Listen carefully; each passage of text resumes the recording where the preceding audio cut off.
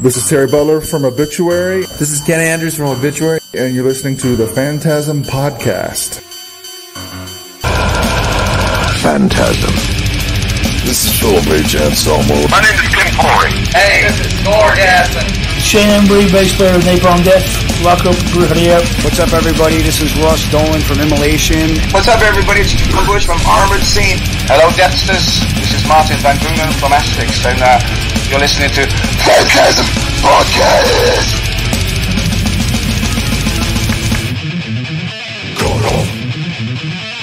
What the fuck is up, and welcome to the Fantasm Podcast. I am Corey Gorechrist. With me, Dr. Vincent West.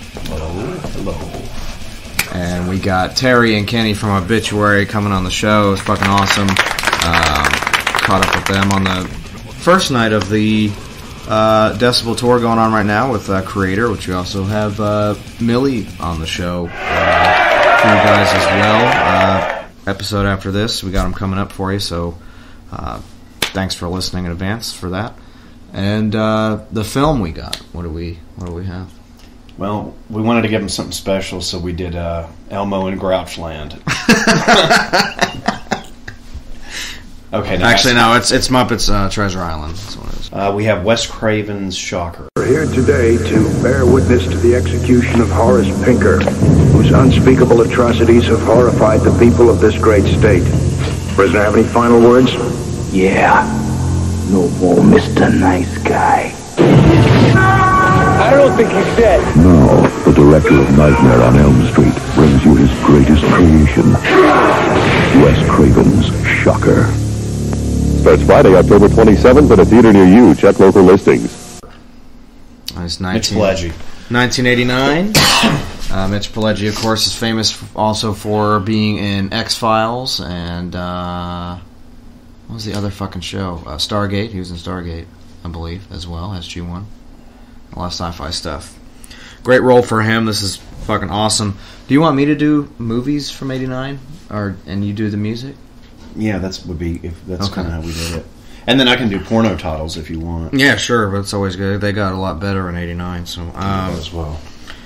Yeah, I don't think we've done a movie for '89 yet, so this is something pretty cool. Of course, if you guys follow us before, you know we normally do. Right, I'll do regular movies first, and we'll go into horror stuff, and then the doctor will do some music, and then we'll go spiral right back into porno. So we'll do that. Um, 1989 in film, we got Batman, uh, the Michael Keaton, which is awesome. Yeah, it is. Uh, Indiana Jones and the Last Crusade, it's fucking awesome. The Doctor actually watched that recently. yeah, I love that movie. Uh, what else we got? We got the the Abyss, James Cameron films. Got Could never do that movie. got Michael Biehn. A I lot like, of people like that. I love. Michael Biehn. That's the only reason. A lot of people like that film. Um, here's the Doctor's favorite, The Burbs. Tom Hanks. I love that awesome film. vampire flick. It's a really good movie. Um, Back to the Future Part Two, which is Biff Tannen. That's my That's always that's my favorite Back to the Future movie. Uh, Honey, I Shrunk the Kids was huge then. Uh, love Rick Moranis. Uh, Roadhouse, which uh, Shout Factory just put out a hot and sexy collectors of that. Uh, Patrick Swayze at his best. You got Lethal Weapon 2.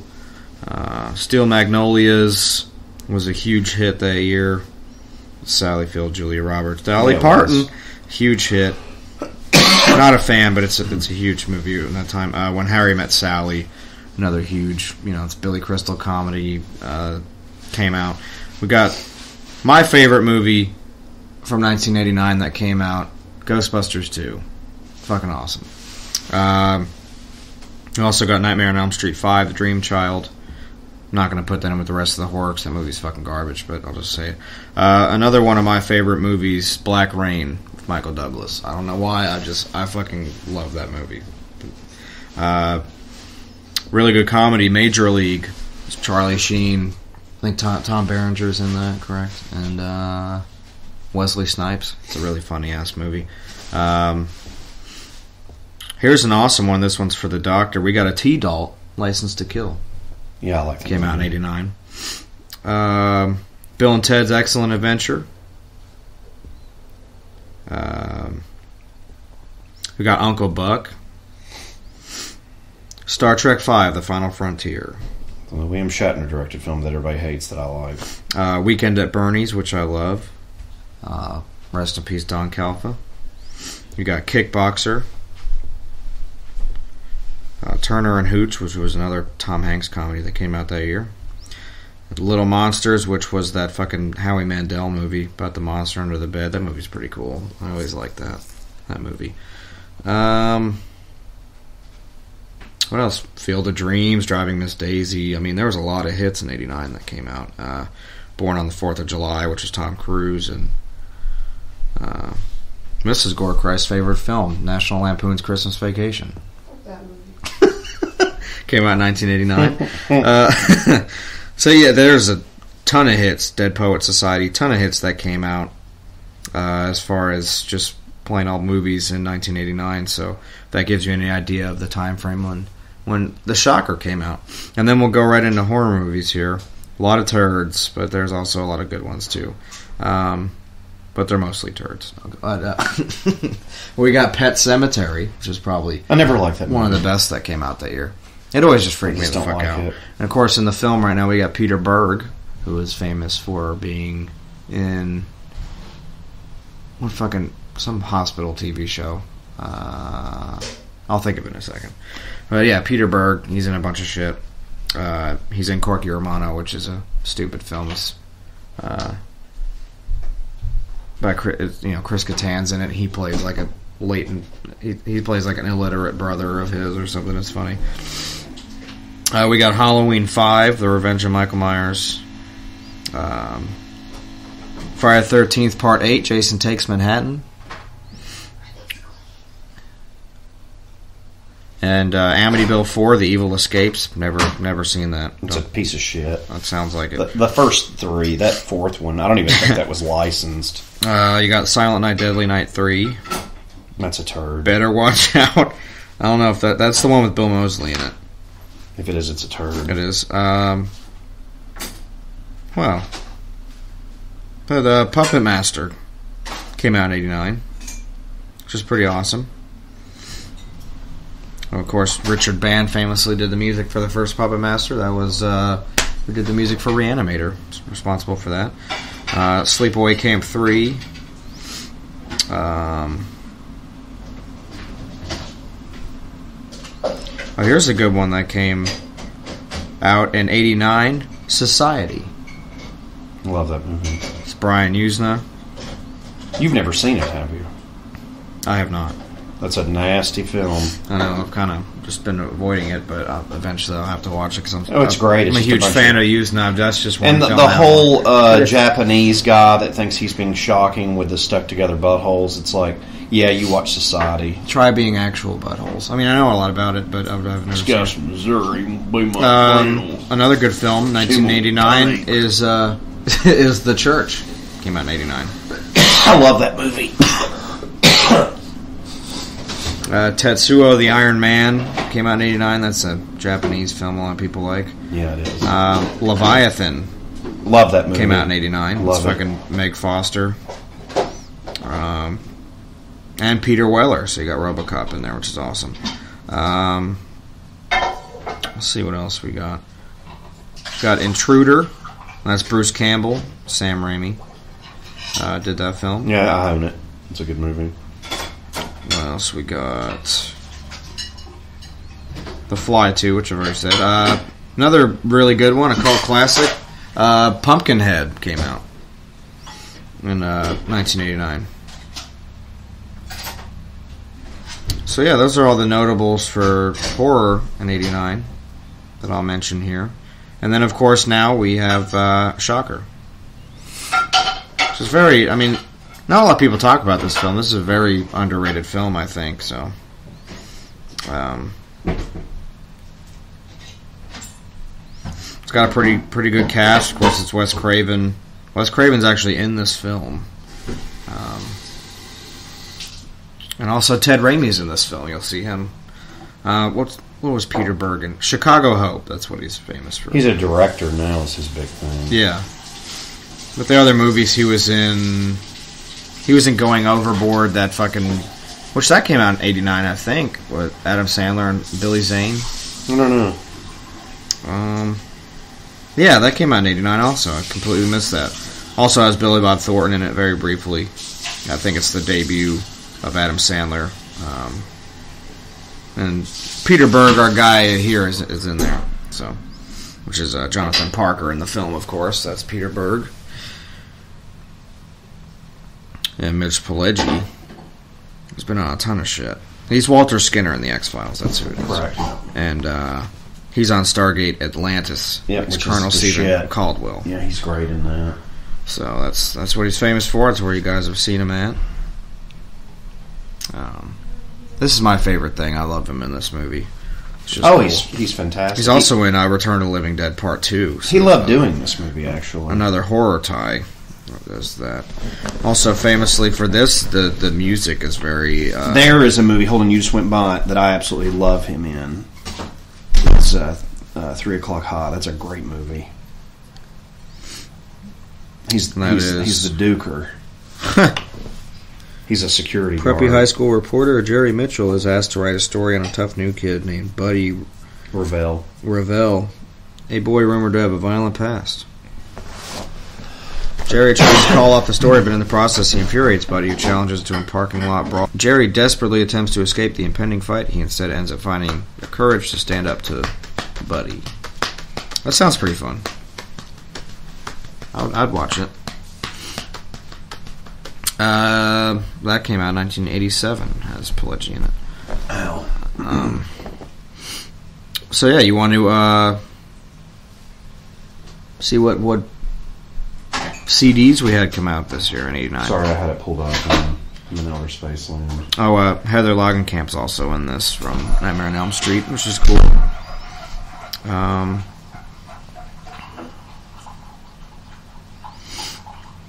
this film, I guess, I didn't know it got a. Uh, it originally had an X rating. This film. I did not know that. I didn't either. Uh, it said some scenes where that were cut included Pinker spitting out fingers that he bit off in prison guard. A longer and more graphic execution. A longer scene of a possessed possessed coach stabbing his own hand. Despite fan interest, an uncut version has never been released. And this came out on October 27th of 89. It was second behind uh, the film Look Who's Talking, which is that John Travolta piece of shit, Kirstie Alley comedy thing. Um, which I'm not gonna lie, when I was a kid, that film always came on, so I used to watch that. But um, it's not it's not good. So this was released by Scream Factory in September of 2015, uh, alongside The People Under the Stairs when that came out. So um, if you don't have that already, uh, it's another good another good film. Looks really good. The print of this looks awesome as always. It's very clear. That I never liked People Under the Stairs. yeah, it's always weird. I remember my my mom rented it from the video store, and my friend Chris's mom Anna came over, and they both watched it, and they locked me out of the room. And I was like, "No, this is you can't watch this one. This one's very scary." And then she would let me watch. Years later, you're like, "This is a turd." She would let me watch movies all the time. I guess she didn't know how many horror movies I would watch all the time, but that one specifically was like the one that I could not watch that she will not let me see. And then I was like, "This movie's fucking horrible." yeah, it's a piece of shit. Not even anything scary about it. It's a bunch of kids in a fucking you know basement. It's like I don't know. But you know, I know people. A lot of people like that film, and I like Sean Whalen or whatever, but I don't like uh, anything else about that film. So, um, but yeah, this is. Uh, I, I do like Shocker. I think it's a great. It's a great movie. You ready for the albums? Yeah, let's do albums of 1989. Here we go. As we pull up on Horace Pinker right here. And I'm going to do these just the ones. I'm not. I'm only going to name stuff that I actually like because Yeah. I fucking hate Candlemass. I don't know. why. That is the most overrated band. I love Candlemass. I, don't understand. What came out? Nightfall came out in 89. No, that Tales from Creation, which I'm. I don't, that I don't like that. I just don't like them. I, I always thought they were annoying. It was just like, wow, why would you? And and I'm going to prove my point here in a second. Why anybody would listen to that when you have all these other great records? Because I, I don't even know where to start. There's so Well, I would never. I, I don't like that record anyway. there's so many good uh, records here that I don't even I don't even know where to start. Okay, we'll just start with this. So, um, Night, Nightfall came out in 87. That's what it was. um, so uh, King Diamond Conspiracy. Oh yeah. Um, let's see here. Testament practice what you preach. Kiss hot in the shade. I don't really consider that metal, but whatever. No, it's awesome. Um, this is for you. Pestilence, consuming impulse. Awesome. It's fucking Um, Martin Van Drunen. Uh, this the rest of it's all uh, doctor stuff here. Uh, Laaz Rockit Annihilation Principle, which is their best record. Black Sabbath Headless Cross. Oh yeah. Nuclear Assault Handle with Care. Of course. Uh, Carcass Symphonies of Sickness. Fuck DRI Thrash Zone. Um, Autopsy Severed Survival. Awesome. Um, Sodom Agent Orange, which is my favorite Sodom album. Yep. Uh, Overkill the Years of Decay. Um, Godflesh Street Cleaner. It's their best record. It's awesome. Oh yeah, it's it's nasty. Um, Obituary Slowly We Rot. So there's awesome. there's a tie into that there for Yeah, them. we got slowly we brought obituary for 1989, so this ties in with their. Um, or that was still their most well received record, I think, with the fans. So. Not the best for last. I'm going to say Sodom Agent of Orange again. Agent Orange. Uh, Coroner No More Color, which is my favorite Coroner album. Huh. Uh, Voivod Nothing Face, which is the only record Voivod ever did that I liked. Wasp, The Headless Children. Oh man. Um, Morbid Angel, Altars of Madness, and Dead Last, because it's first. Kreator Extreme Aggression, Oh yeah. which is the shit. And that's it. That's awesome. Yeah, so the uh, for the music, really good year. Uh, film, pretty goddamn good year. Not so much for horror. Uh, this was like a you know, this film was one of the better horror movies to come out. You know, a lot of dead end sequels of, of franchises going on at this time for horror movies. So, um, and then the doctor here, when he gets ready, will go on to uh, adult film. I'm working on that. Uh, let's see some interesting tidbits. Current. Uh, Actually, if we can Courtesy skip that, of- the last time I got on here, it kind of fried my phone. oh, okay. Adam actually had to yank a bunch of stuff. I don't look up porn on this. phone. It's No, kind of just look shocking up- if anybody Just knows. look up adult film 1989. it. It takes you to these sites and it has all those It should, things, but should it's, but it's pull got up. like shots and, No, and it should, can't. it should pull it up right on Google. I can't get a list of it. It keeps Okay. pulling. I can up. try to find something here in a second. Courtesy of IMDb, we'll get some little movie trivia here on Shocker. Uh, it was originally intended to be the beginning of a three-part trilogy, much like a Nightmare on Elm Street, but the lukewarm box office reception, the idea was dropped because it only made like four million at the box office. Like this thing fucking tanked. Um, that's what happens when you go up against John Travolta. You know, that's what happens. I guess. I don't stream anything. I'm just streaming Um, balls. Sorry. This was the last film to be released on video cassette under MCA Home Video banner before it was changed to MCA Universal Home Video. That's pretty interesting. Um, that this was part of that. You know, it's got uh, pretty pretty interesting history here for that um, and for MCA. uh, before I go any further, I want to say if you guys haven't, not familiar with the soundtrack to this, it's got Megadeth on it. It's got Alice Cooper. It's got Kane Roberts and a bunch of other people did like a. Oh, it was another band, like a made up band. The Dudes of. Wrath. The Dudes of Wrath, you know. I want to say something. Actually, the Which is soundtrack. the uh, soundtrack. Dangerous to Toys. Was that the There's a other- bunch of. In what? Well, wasn't that their name? It's like Dangerous Toys or something like that. There's a band. the I mean, I have the soundtrack to this movie. The soundtrack to me is better than the film. Yeah, the soundtrack is awesome. It's Megadeth covered "No More Mr. Nice Guy." Yeah, which well, Alice Cooper, that's something awesome. and something on. Um, yeah, Demon Bell is uh, the song by Dangerous Toys. cool. I think the Dudes of Wrath. Bonfire was that song's really good. The Bonfire. the band Dudes of Wrath was guys from Dangerous Toys and Kane Roberts. The Dead On song was really good. That's on there. And yes, it is. It was Kane Roberts and Paul Stanley from Kiss and Tommy Right. Lee from Motley Crue and drums and there's a bunch of people. Um, I can't remember. I don't have it in front of me, but yeah. Yeah, the soundtrack's really good. Um, it's got Love Trans- Transfusion by Iggy Pop, if you're into that. Um, yeah, it's, it's good stuff. And of course, that original band that they made was pretty cool. Dudes of Wrath stuff. Um, Shocker was filmed in 10 weeks and on a low budget. Craven said that this was achieved by having a small crew and little known actors. Even though, my opinion, Mitch Pileggi, I mean, that's fucking huge for me. It's awesome. Um, That's a nice death shot of the cop right there. Um, Pinker's a nasty motherfucker. It's really just a different slasher. This movie. It's very. It's not even like supernatural. It's just. I don't know. It's just very different. I know after Wes Craven was making Nightmare on Elm Street, you kind of get a different, you know, kind of inspires you to make think you know forces of nature that are uh, can manipulate things. Like you know, Freddy manipulates your your sleep, and in this case, once Horace Pinker uh, dies, he manipulates uh, electricity to get to you, and that's pretty cool too. You know, so um, Wes Craven had a pretty pretty interesting mind. Um, as far as running with an idea, especially like that, you know, that's pretty cool because we all have electricity, you know. Um, says the body of a male road worker with long black hair that Horace takes over is a former guitarist for Alice Cooper, and that would be Kane Roberts. So he's in the film, which is pretty cool. You're I did not describing that. it's Doctor West. Um, yeah. see, I guess I'll keep up with this stuff as the movie goes along. Don't want to just drain everything on here. Uh, there are many similarities to the original Nightmare on Elm Street in the film. The opening shot of Pinker working on his television set similar to the opening shot of Freddy making his trademark glove.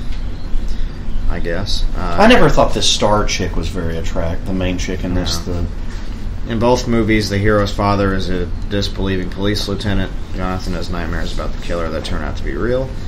In both movies, the hero's lover is murdered by the killer. In both movies, the killer comes back from the dead to seek revenge on those responsible for his death. Um, so yeah, there's a lot of interesting stuff here. I'll get I'll get back to once we reach those parts of the film here. Well, there's a lot of uh, little tidbits about this film there. Interesting. Um, I'm trying to think of her. Is that Camille Cooper? Is that who that is?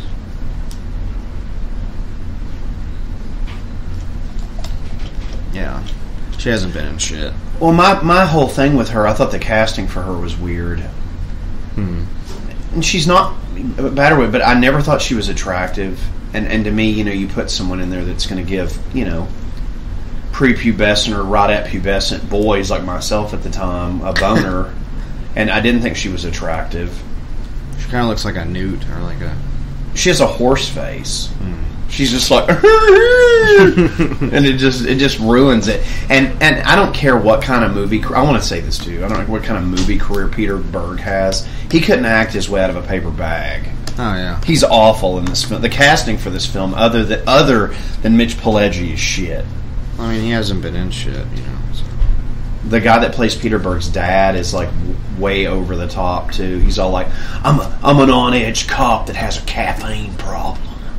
It's just too much. I smell like coffee and cigarettes. and donuts. But yeah, I never have liked Peter Berg. I don't like Peter Berg in a fucking thing. You know how you always tell me. Now I want you to look at him a minute. You know how you always tell me you want to hit somebody. He's somebody I literally want to hit with a bat. I don't know why. He didn't do anything. He's not mean or obnoxious or anything. But he has one of those faces. You just don't like like his face. Yes, You're I just. I would. I would rather change it for him. I know. I would just rather hit him with a car than look at him. it's just. His head kind of looks like a pencil eraser. I mean, am I the Yeah, only person that would that would find actual personal satisfaction after hitting hitting someone with a car that you don't like? It would just be fun. Or a forklift, you know. Whatever you want.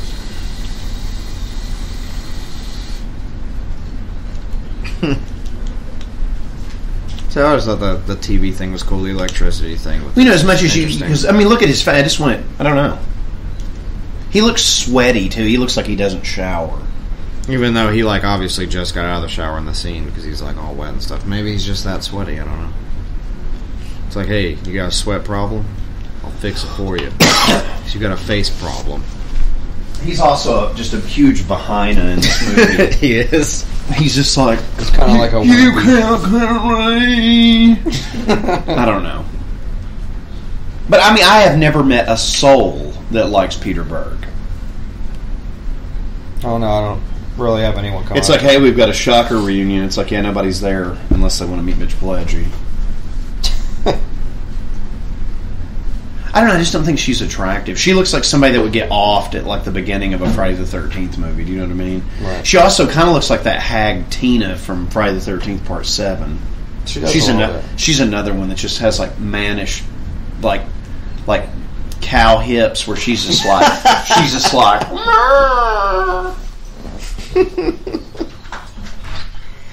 Do you know what I mean? Yeah. She's just not attractive. I never. I just never. And and the, the best part of that movie is that fruit run around chasing her. He's just like, "Hold on, Tina. I'm your I'm your big bottom." There you go. Yeah, it's. Horace Pinker, baby. I mean, the, the killing in this is brutal, but I'm. I mean, this is a Mitch Pileggi bloodfest. It's awesome. Yeah, that's the best part of the film. It's the redeeming thing is just him killing people. Another thing I hate. This and I hate that his coach, Peter Berg's coach. He's just a hard ass old black man. It's just not. I don't know the casting for the. You know, it's like Wes Craven tried to make this film look like Christine, and it just doesn't work. Yeah, I see what you mean. Do you know? I mean, he's annoying to me. Look, you're missing it. The So Sam Scarber. If it is, that's good. That's who that is. That that's fucking cool because he's a fucking actual football player. He was a Dallas Cowboy. it's fine. I've never seen that door open.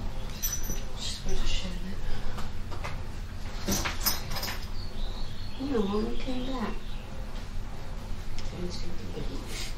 Apparently, he wasn't really a good running back, but he was on the L.A. Rams and the San Diego Chargers. So that's pretty cool. They chose him as a Sam Scarber.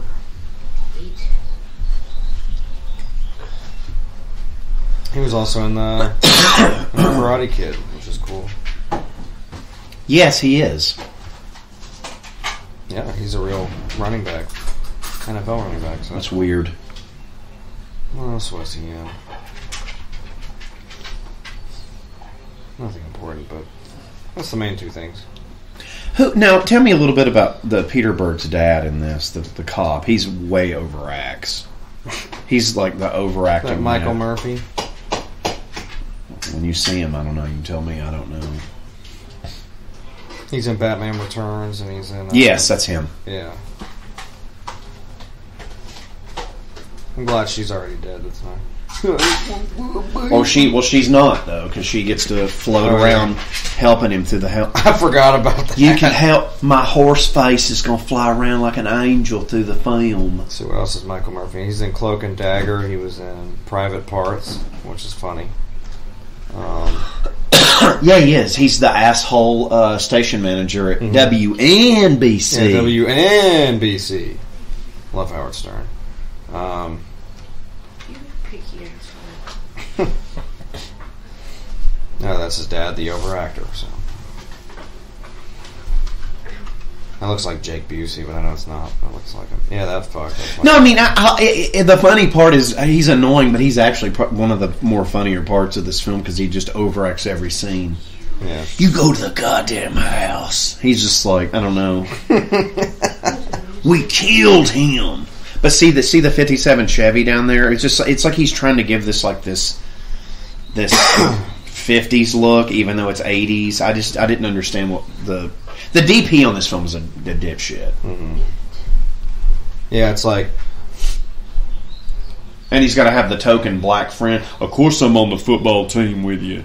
It's just I don't know. It's just and of course, 15 years later, you know, uh, Peter Berg is just going to be in that Friday Night Lights bullshit movie where he's like the drunk daddy. You know, he is. Yeah, I'm pretty sure. He is. Oh wow! Wasn't he in that movie? I've never seen that movie. I would never watch that movie. Any movie, and I just want to say this: I love professional football, but any movie Oh, about no, he was high in that- school football. He was in that TV show Friday Night Lights. Oh God, which is even worse. that sounds about right, though. I got to give him a paycheck from CBS. And of course, uh, Rhino there was in uh, Teen Wolf. yes, he was. Which why that's getting a collector's edition, I'll never understand. Thanks, Scream Factory. and The Hidden. So Um, in shit ton of Law and Can I tell you a movie? Let me tell you a movie that Arrow or Scream Factory or it's gonna would have to be one of those two because this is a high caliber title. It was put out. I saw the movie as a, as a kid uh, from Paramount, and I'm going to tell you what. It's one of the scariest movies I've ever seen. It's raunchy. It's got Nazi stuff in it, and it's also Ooh. got and it's also got like um, Sick throat slit. Sorry. no, it is, and th- there's a lot of um, like occult cool stuff going on. It's a movie called The Keep. Yeah. So I can't get The Keep, but I get a collector's edition of the Jason Bateman Teen Wolf Two that made no money. Doctor West. It's a cult classic. But it's not. That movie didn't even make money on fucking video. It's a. It's a. the Eng- first Teen It's Wolf. a Ingles grocery. Here's my whole thing with that. You want to put out a collector's edition of Teen Wolf? Put it on your Shout Select line. Don't put it in the fucking Scream Factory. Same as those RoboCops. Why is that not on Shout Select and not Scream Factory? or just on Shout Factory, whatever. That's what I'm saying. That shout select, that thing that they're doing now, where it's like we take films that you like and then do, you know. Which, by the way, and, and this is not horror, and I've never said this on the podcast. And you'd mentioned buying it. I've had it for a while. I got it at an FYE that went out of business. But the nicest Blu-ray that I own that that Shout Select did, and my God, did they? I mean, I don't know where they got the transfer from it from because it, looks ridiculous. It looks like a Bond film. Is Roadhouse? Yeah. That Blu-ray is Which is 89 came out this year. well, there you go. uh, um, you know, not this year, but you know, year of Shocker. That was uh, another thing they put out. Um, haven't seen the print yet, but it's doctor approved. And look, the, the print of this Shocker. I'm not trying to. I, everybody thinks I'm giving Shocker a bad run here. I'm not. I actually do like this movie. I do own it actually, and the print of this is gorgeous. It is. Yeah. Um, That's one of the earlier things they did. Uh, Scream Factory line. Well, it's it's just good. it's about middle middle of the run. yeah. when they putting when they started out, putting the Craven stuff out. They put out Deadly Blessing and this and People Under the Stairs. I can't do people in this. I don't know. It's like that. Oh, no, and here's you another. Here's another one, and this is another one that I do not understand. Why did Scream Factory put out Tales from the Hood? That movie sucks. Doctor West, it's a cult classic. It's an it is not a cult it's classic. In, it's, it's an a, Ingles grocery store cult classic. I guess. It's a straight to, to on demand classic. I'm just giving you shit. Oh, Uh, give me Leprechaun Back to the Hood any day. I'd rather watch. fucking- Yeah, that movie's awesome. Um, so at least it tries to be campy on purpose. Oh, and I want to from the Hood I want to do an announcement real quick because we're kind of backpedaling with stuff, but um, um, we're going to be giving um, Cranial Engorgement one of the Leprechaun films. That's what you're getting. we should. I love those. You can take it as an insult. It's not. I actually like. I like those movies a lot. They're good so. movies. They're There's fucking a lot of rated gore R. in There's it, a lot of gore, and it's Warwick Davis who's in goddamn Willow. that's what we're looking at. movie. And as far as uh, he's Wicket from Star Wars. Marco Hour Penance, I don't know. I haven't really decided about that yet. Probably Chud too. That's a good one. Yeah, You're, going to get. Bud the Chud. It's a Vestron. I'm, I'm the only person on the planet that probably likes Chud 2 We did do than- Marco. We did? We did the gate. Totally gave him the gate. We did that one night. We didn't do the gate for us. We did the gate. Maybe we've already done that. We did. I told. I knew out. we did. No, no, it's fine because it's going to come out after anyway. We just, um, Maybe we did. Did we? yeah, we did. We totally did the gate.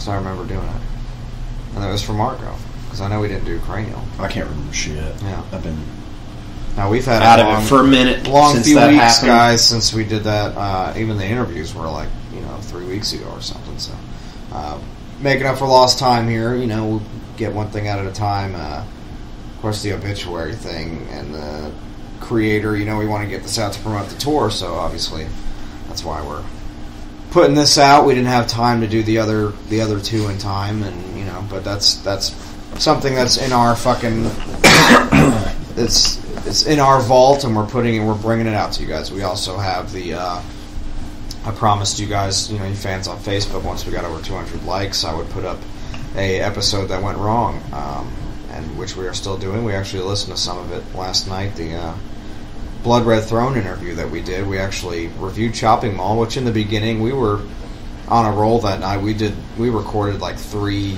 We had three episodes. we did three movie reviews uh, to plug with interviews, and that was just you know the end of the night. So we were pretty. It was like four in the morning when we were started that one. So I was pretty hammered, and the doctor was loopy from being up all night. I think you were up for like days when we did that one. Yeah. Um, so yeah, that was a lot of fun. You know, initially in that one, we kind of, I was kind of just making fun of Chopping Mall. I really do like Chopping Mall. It's, I was really excited when it finally came out on Blu-ray. I know all the other fans were, and uh, I think near the end of it, I warmed up to it. I think just the interview and me being hammered kind of uh, put me in a bad spot, but I was just trying to have fun with it. So. Um, Nice. I just Yeah. got Deicide's till death do us part for six bucks. Nice. That's like a fifty dollar CD now because you can't get Really? it. I yeah, all that stuff. Is it coming with the patch? Yeah, Awesome. yeah, it's sealed. That's my favorite part about that. It came with that. You know, I've never heard that record, and I saw that tour. Uh, Severed Ties is a really good song. The title track's good. It's very shreddy. It's it's. I like it. It's good. It sounds a lot like Scars. Now, who's on that record? Uh, Is that Jack? Owens on it. I think Is Santolla on that album too? maybe it was Santolla because he did the the To Hell with God. He was on that. That. I've got Doctor Mordrid coming. Awesome and Castle Freak. I want to watch that for sure. Which is awesome. Another Barbara Crampton stroke alert. Yep. Um, yeah, the beginning of the end. That's a good song too off that record. That's the opening track. Came out in 2008. Yeah, Jack Owen and Ralph Santolla. That's what I thought. I thought it was that lineup. I saw Now, that now that's after, so that's actually a pretty solid lineup for them because the previous record was that. Uh, Yeah, this was the first one with Ralph, if I'm not mistaken. No. is it not? no, the one before it. To hell with, or no, to hell with God. Uh, uh, the orange one, the five. of Redemption. Yeah. yeah, yeah, So that was the follow-up record. yeah. Because that was after uh, Scars of the Crucifix. so after To Hell with God, then he was it was To Hell with Santolla. To hell with Corey. Was that Yeah, album? To Hell with Santolla. To hell with West. um,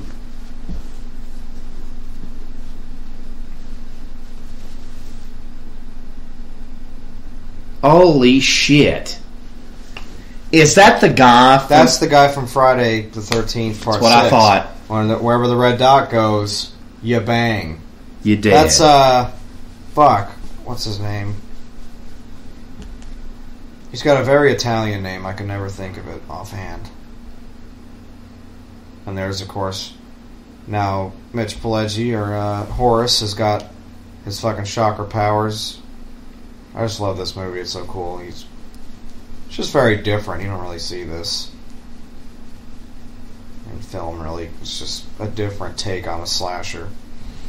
It's very ambitious, and usually, um, as we all know, when you try to make an ambitious horror movie, no one, no one, nobody pays to see it. Just like Halloween Three, which is a travesty because that film's fucking awesome, and it got still gets no. You know what bothers me though? It's Oh, kind. uh, it's kind of become. Vincent uh, Guastaferro. It's kind of become uh, beard IPA local uh, South Florida light beer tearing off a fart mid afternoon to say you like Halloween three. I'm kind of getting tired of it. I've always liked that movie. I saw it at the theater. Have you not noticed that now? Where people are like, "Oh, no, no, Halloween three." I trashed 'cause Michael Myers because Dick Warlock wasn't in it. Now I love it because John because I saw John Carpenter live. It, there is. There's like this turd following of that film. It's always now. been my favorite one. Was three. It's not my favorite, but I like the film a lot. I'd say it's- I'll tell you this: I like it more than I do Halloween Two. I really don't like Halloween Two. And if anybody knew me, this is a really easy explanation on that. I had a lot of allergy testing done as a kid, so I hate hospitals. I mean, I despise them. Yeah, that's so all that- that's all that movie That's is. all it is. It's Michael Myers in a hospital, which does nothing for me. You will never see me in a shirt or anything promoting Halloween Two. I think that movie's an overrated turd. That's all, also not Nick Castle. So And they also fucked over Tommy Lee Wallace, who was supposed to direct it, which is why he did Halloween 3, so that's another reason Halloween 2 sucks. But anyway, right. I just don't like it. I really do not like that movie. I don't know. That's the only one people seem to watch. I don't know why. Um, And they, they were trying to on Fright Rags on, on Facebook, which I put it on our page if you guys saw it. They were saying that the Bob kill into the with the knife to the chest into the fucking pantry was not as good as the fucking him dipping that bitch in the hot tub. It's like, ooh, hot you dipped her in hot water, ooh, and her face melted off, ooh. It's like I'd much rather see him kill Bob because that part's fucking brutal. You're also talking about a fucking has-been director as opposed to John doing it. And there's this misconception. People like to come up and make shit up. They're like, John directed part two. That's, that's Nick Castle too. No, it's not. If you think that, you're a fucking crackhead. Come see me because you don't know anything about the movies you're watching. Are you nothing? Nothing. God's honest truth. I would rather watch Halloween six all day long than watch Halloween two because I like Halloween six. The one with Paul Rudd. Paul Rudd one. Yes, that movie fucking rules. I love that. I'm see, that's one we need to do. That's a good movie. Oh, we do need to do that one. I've got two different cuts of it too. Do you? Yeah, we'll do it. I'm always up for that shit. Michael Myers is fucking awesome. That's the thing, you know. I don't know. Uh, I really like Halloween three because it was something else. It, it felt more like a Halloween movie. I don't even almost consider it with the rest of the films because it wasn't supposed to be. It's supposed to be set in the universe, but it's not Michael Myers. So I always considered it a you know a film of its own. Um, but I don't know. Uh, of course, the first film is hands down the best, one of the best horror movies of all time, if not the best horror movie of all time.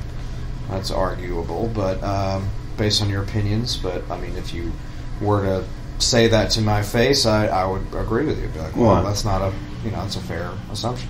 Saying Halloween is the best horror movie ever made. I mean, I wouldn't I wouldn't disagree with somebody's opinion on that. What the first one? Yeah, No, I'm, I've been talking about Halloween too. I know. I'm saying the first one. I'm just making stating a case. Oh, the I'm first. just saying, you know, if, if you were to come up Eh, to me and say eh, Halloween is, is the it- greatest ho- horror movie of all time, I would say, yeah, you know, I'm not going to uh, disagree with that. Me personally, I don't. I, I would I would definitely put it in top five, um, on like a real debate or something. You want to fry me? Then do it, you fucking insect. Anyway, um, you know, I'd, Halloween has to be up there. It's, I mean, it's it's set the it's it, it raised the bar and then some. But if you got to remember, there was also Texas Chainsaw Massacre and uh, you know Dawn of the Dead, and you know you get a, when you put all those big boys into play. I mean, it's it's crazy um, to debate about that stuff. So you know you can't really put a best on it unless you really just had to write something or come up with a list on your own. Um, and to come off of this, you can tell what that horse.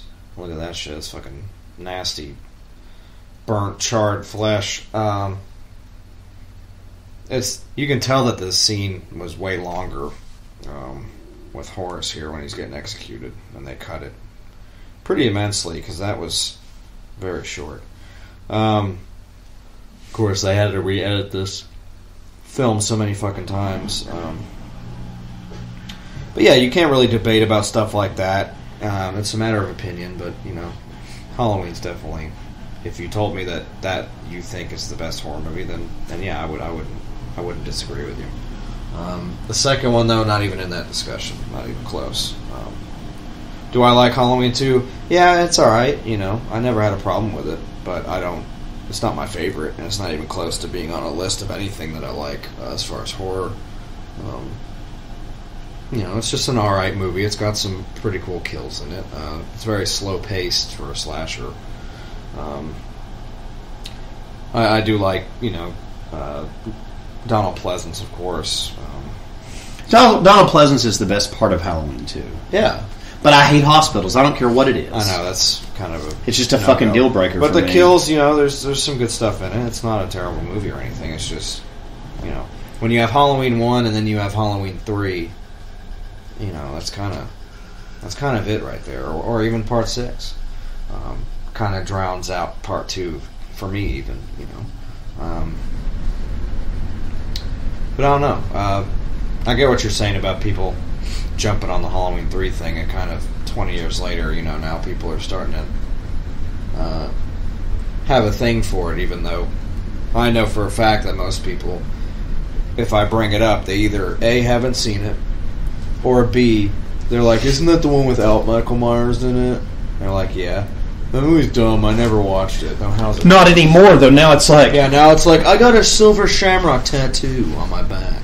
and it's and it's really cool. And then we we were what I did was I walked in I have the to the local IPA soft brewery and I just ripped a hot fart.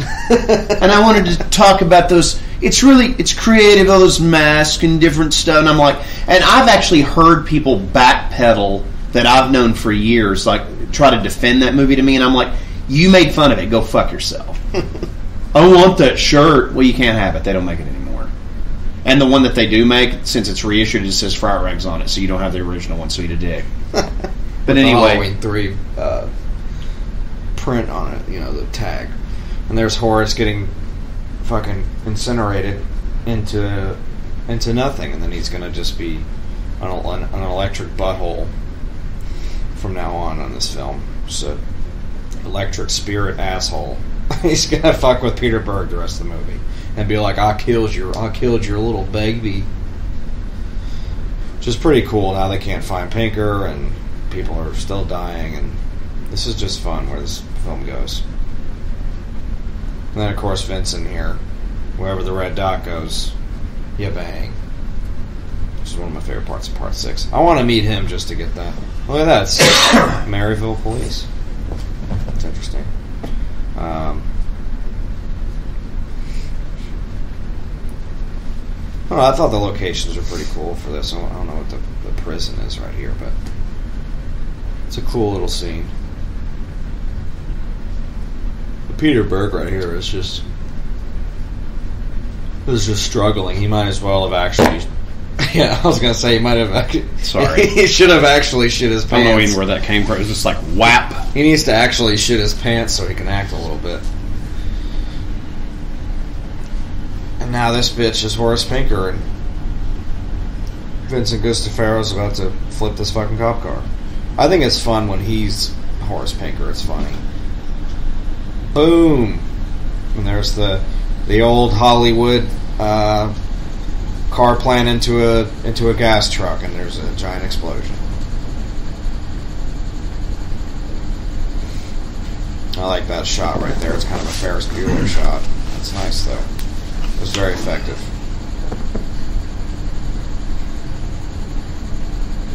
Oh, we got Michael Murphy, Lieutenant Don Parker. He's got to he's got to be rough with his own son and have a cigarette in his mouth while he's yelling.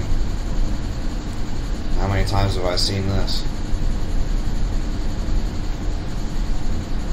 No, this film isn't isn't a serious movie. It's very campy on purpose, but it's you know this is a fun film. It's very ambitious and uh, you know, and I don't want to dwell on this too much longer. But about the Halloween three thing, I mean, you know, I get it when some people finally check out something and they you know they hop on the bandwagon, but don't act like you've you've always liked something when you haven't. You know. Um, I know a lot of people. Most of the time, if I try to bring up Halloween three, they just don't even. They've never even seen it, or like I didn't want to watch that. It's not Michael Myers. Like, well, you know, whatever. Han Solo's not going to be in the next Star Wars movie. I guess you won't be watching that. But that's fine. You know, I don't. I don't. If it's a horror movie, you know, or anything like that, I'd just give it a shot. I mean, there's there's Ted Raimi. You know, you can barely tell it's him with the fucking glasses on. That's uh, Pac-Man. Which he should have been the main character in this movie. It would have been a little bit better. But then again, I wouldn't want to watch Sam Raimi get terrorized. I don't know. He just wouldn't be good for this role. I think Peter Berg's just kind of a, a ninny, so it's funny watching Horace Pinker fuck with him all the time. And of course, here he's a lot like Freddy because he's fucking with his dreams, and you can't really tell what's reality and what's not right now. And there's a whole mind fuck going on here in this in this film. So.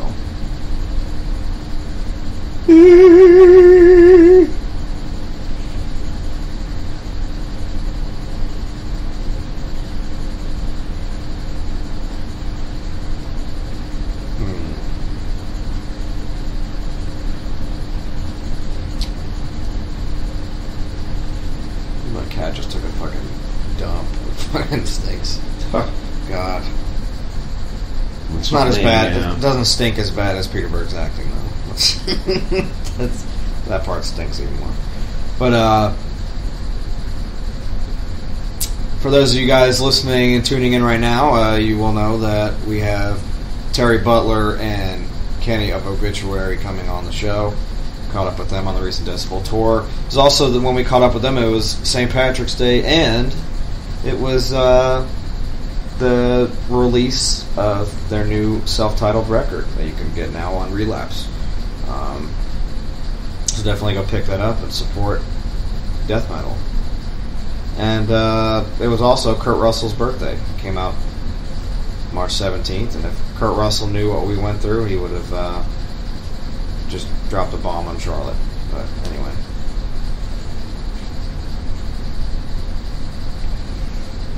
So that was just a nightmare scenario we to deal with. I don't know. I don't know if we got into that as much in the the Mille episode you guys will be listening to. Um, of course, we did Prince of Darkness for that one, which is an awesome film. That's a that's a Carpenter, which uh, I prefer over Wes Craven, honestly. Um, love Wes Craven stuff, but he, I don't know. John Carpenter, as we were explaining, just released hit after hit after hit after hit for a long time, and Wes Craven was kind of never really did that. Um, you know, the first three Nightmare on Elm Streets were cool, and uh, this film's pretty good. Deadly Blessing is, you know, it's a TV movie. It's pretty good though. Um, and uh, if you like People Under the Stairs, if you consider that something, you know, um, Hills Have Eyes, which is fucking awesome, but that was the first thing he did. So I mean, very very spotty with the stuff he did. You know, if you want to compare those two Masters of Horror together. Um, yeah, Prince of Darkness was great. Looks good. It's another Scream Factory title, and you guys hopefully will enjoy that one. But um, I don't know if we talked too much about the uh, the time we had in Charlotte. Um, it was very unpleasant. Um, you know, the show was the show was awesome. Uh, Obituary was you know played really well, and um, of course it was the night of the album release, so they were extra pumped up. It was the first night of the tour. You know, it seemed like they had a good time playing. Um, and then Kreator was amazing, so that was cool. Um, I mean, your favorite part of the show was Midnight. Saw him. I mean, we got there right when Obituary was playing. So we, I've actually I've got a photo I'm going to put on the page of the Corey crying dog shit. doing the devil horns during midnight oh, when, it's, set. when it's cropping over my face. Yeah, and then your and then your your group picture of you with the with the band. Your best and the best time your life. and the staff there. Corey really wanted to thank the staff at the. I wanted to thank the the uh, Fillmore TSA for, for stripping me down into my fucking thong and for stripping me down into my G string I mean, and checking me out. I appreciate them getting the C4 off me so we couldn't blow up Mille and Kreator.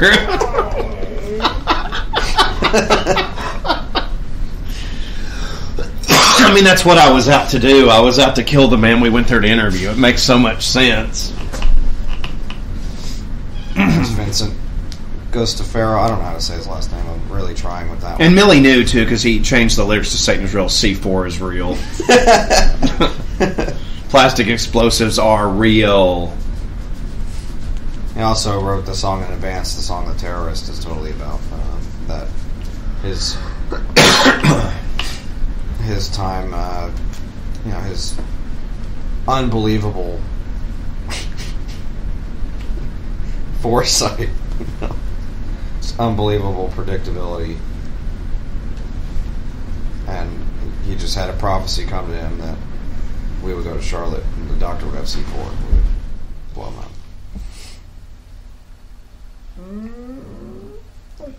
and then you say a total action line at the end of it, and be like, "It's it was a pleasure to kill you, sir." Then beep beep. Of course, it didn't really happen. That's just oh, it's suicide terrorist. That's what it was. Off enemy of God. but, um,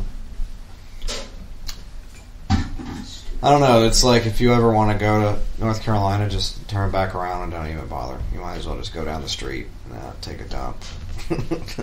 Yeah, whatever whatever toilet you've ever been to, nothing tops the Charlotte toilet. I I don't care what anybody says. That and that, that venue there needs to just be burnt to the ground. and all their meatheads can go back to work out. Yeah, and the people that work there too, it was like they were confused. It's like I'm industrial goth, but I'm into metal. It's like I don't understand that. And I see, I occasionally see some kids like that at stuff, but it's like, are you that confused? You know, you know. And I, I get it. You if you you know if it's se- you're sexually confused or whatever, that's going to happen. You start especially at that age or whatever. You know, try it all, whatever. But trying it all on your face and body confuses me.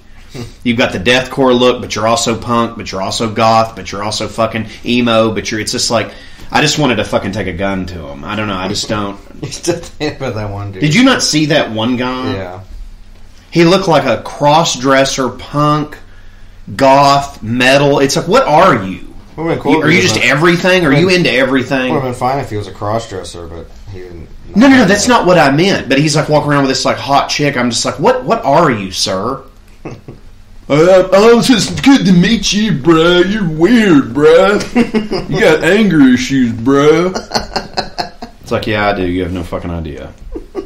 I don't care what people do. It just there were just a lot of con- confused people. I felt like at that show more so than normal because it's always look. It's always an armpit That's, when uh, you go to a metal show. That's uh, uh, Jonathan Craven. That's the jogger there. Weird.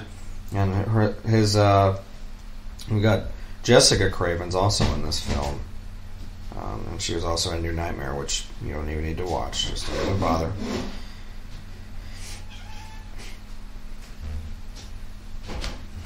But yeah, just don't even bother with with Charlotte. There was nothing good about going there. The last time we were there was the last time we saw Lemmy alive, so that was morbid uh, going back there.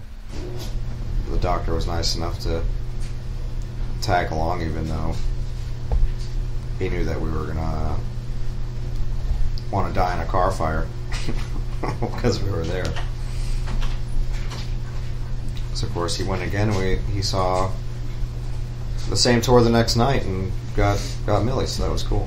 Good good things come out of being patient and wanting to uh, die in a bus accident. So.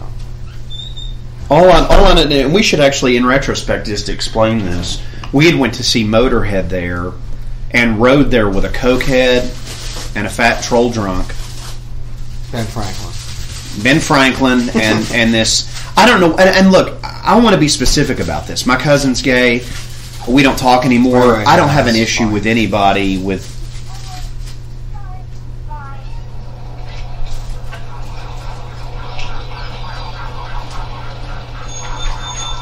What you're waiting on is in a minute, I think. Because she's limping and stuff when that happens. Excuse me, sir. Have you seen a little girl? Excuse me, sir. Have you seen her acting career? Oh, uh, no, I'm a director Oh, now. sorry. Hey, no, I saw her. She was up by that light pole up there. Well, thank you. He was up by that light pole up there. Dead or alive, you're coming with me.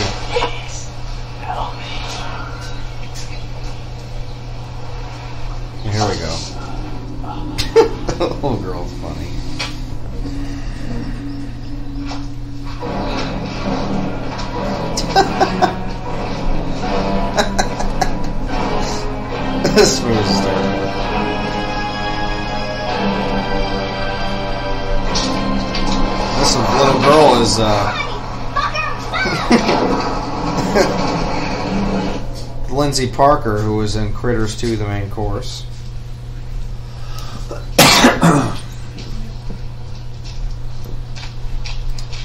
she got her start on an episode of MacGyver. So, well, the doctor's been binge watching that, or at least he was.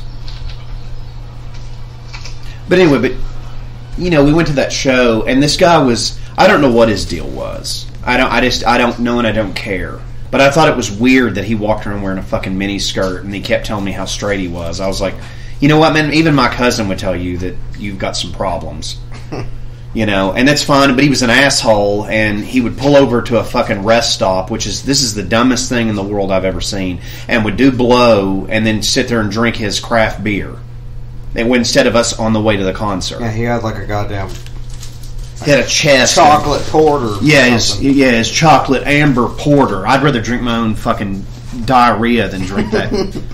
you know, be a man. Why don't you drink a fucking man's drink? I mean, if you're going to drink beer, at least be a man about it. You have to drink this fuck. Well, it has to be. It's a honey wheat with a. Yeah, well, I don't. I don't need Legos or excuse me, Egos in my fucking beer. I don't need Legos either. Yeah, I don't need that either. I don't. I don't need. Actually, I would I don't rather need have maple. Legos. I don't need maple fucking syrup in my fucking. In I would my, rather have Legos because then I could. it's it's got a out. maple syrup hop in it with orange juice. Well, why don't you just drink maple syrup with orange juice instead of pouring it with beer? But anyway, and then we get there, and then maple the, bacon peanut the, IPA the worst human being that I may have ever met Oh, Hawkwind. comes up to me drunk because we were we were what we were doing. This is way before we we did this, and and I just wanted Corey to see Motorhead, and we were standing out there, and we were trying we're having to deal with every troll in in Charlotte, and then. um on top of that, I didn't want to be there anyway because there's a girl that I was involved with that lives there. That every time I'm there, she's like, "You should come." It's like I don't want to talk to you. Um, and she was at that show, and with some with some meathead with with tribal tattoos, which is real original. I've never seen a guy with tribal tattoos. But anyway, That was Kane Roberts right there. yeah, that's awesome. Construction worker there. It looks like Gene Simmons. He does. And we're at the show, and this this it, drunk troll, which which this is kind of a fun part of this too, is you can't walk around drunk in Charlotte. They can actually arrest you for PD there. They actually have officers there to arrest you for public drunkenness. And how this guy had not been arrested was beyond me because he had drank every beer in the city. and he comes up to he me. came up and took mine. He was like, "Thanks, man." And started drinking. He was just awful. I don't even want to repeat what he did, and I hope he's dead. um, I think he was a vagrant anyway. I don't know. you know, the only thing that I can hope is that he stumbled across the box from the Hellraiser films, and Pinhead came out and tortured him to death. um, but yeah, the venue's just horrible. And every time we went, and I knew before we went, I was like, something absolutely awful is going to happen. It rained the entire day. Which, you know, everybody's, oh, it's going to be really nice and warm. Well, it wasn't warm. It was like 30 degrees, it felt like. Uh, the Zaxby's that we ate at, I had to take a dump in a Wendy's. I don't think I've ever done that where I went to one chicken place and then crapped in a burger. you know. But it's never it's never frozen. And I never get sick off Zaxby's, like ever. And it was just a nightmare. And then, of course, the next day was a nightmare too because I ended up getting really sick with this upper respiratory thing that I'm still dealing with. And then I had to go all the way. I had taken cold medicine because I didn't think we were going to get into the show the next day. And we, we ended up. And then, of course, we went on and I talked. You'll hear more about that on the Kreator episode. But, you know, it was fine. It's just it just bothers me. But apparently, even Kreator had issues with that venue with their load in and load out and their security there because all the people that work there thought they were in bands. Hey man, I'm in a band. I'm in a band. Those people. I mean, what was up with that? Like when we met Mille in Charlotte, like. Did you not see this, that guy said, "Let me put my code in and key lock, unlock yeah, this fence"? It's like, Oh yeah. what are you doing? He's out here. He wanting to talk to people. Why are you? Why are you acting like you're his security? Yeah. I'm pretty sure you don't work for the fucking band. No, he's some venue ass. So we gotta protect the artist. What we gotta do. Like, no, like five no, it's someone taking their job too seriously, like that that old fucking Viagra cocksucker inside the venue that kept shoving me with the fucking glasses on. Weirdest thing I've ever, most passive aggressive weirdo I've ever met. He's sitting there Why trying to shake my hand Looks like he's a fucking. and then telling me to get over. You need to get over. He's like, I, I just want Depeche Mode to come here already. And then that black Stupid woman that I thought was a man that turned out was a woman that was like a bodybuilder. I don't know. It's a fucking nightmare. And then that smiling chode in his in his vest. I'm gonna make a vest and go to the show tonight. yeah, well, you shouldn't have made it out of a Fast and Furious jacket because you look like a dipshit. out of a, a Forever 21 jacket. That's what it looked like. It looked like he'd went to Rue Twenty One, bought a jacket, and put, Yeah, that's and it. put Taliker patches on it. And discharge. or something. My daddy liked them. Oh, really? That's fantastic. Do you want to? Do you want an oatmeal cookie? I've got cookies here. Do you want a cookie? You want a peanut butter cookie? Yeah, I wanted to throw him through that fucking stage. I actually wanted Mille to like hold the guitar down and I just impale him through it. We'll get the show really going. But it was a Yeah, there was- nightmare. I don't want to ever go back there again. There was a guy. You know, we were originally uh, talking with with Donald about uh, doing an interview, an impromptu interview at the show, and uh, he ended up getting very sick or something, and so he told us to wait by the the load in area, and so we were standing there waiting, and this guy shows up, the venue staff. and it's like you guys got to move over here by the stage. There was like there's little like taped up areas where you had to stand. Uh, even though other people ended up just standing around there, no one no one gave a shit. Um, well, there was a woman that was a security, and That guy's been in fucking everything. Oh no. He was on like Law and Order. But there was a woman there, and once we told her, "Hey, we're waiting on getting an interview," so he told us to wait here, and she was like, "Oh, okay, that's fine." And so we stood with with her, and then that guy showed up and just totally derailed that. He was like, "Well, that's great and everything, but you guys stand over here," and he kept fucking pointing his finger and moving us like we were at a fucking car wash. His name is Old Viagra. Yeah. Old Charlotte Viagra. Because he was like shaking my hand. I'm really sorry, man. I'm sorry, man. And you need to get over. But you need to get over. I'm sorry, man. I know you got to. I know what you. You get over, man. Never again, though. And he was like, eh. Never again. He was like, "That's great and all, but you you got to be over here."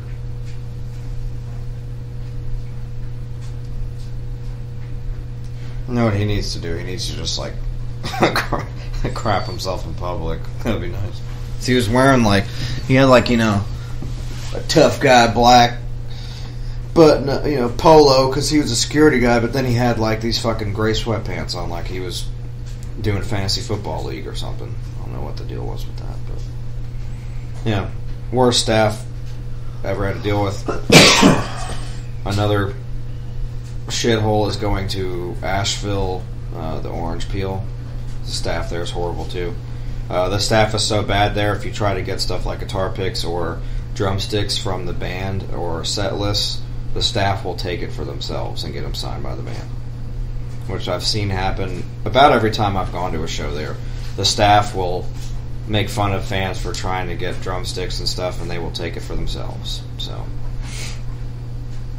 um, and also there was some dickhole that was very rude to, to Dr. West when we were there once, and uh, pretty sure that was the last time you went there. What's that?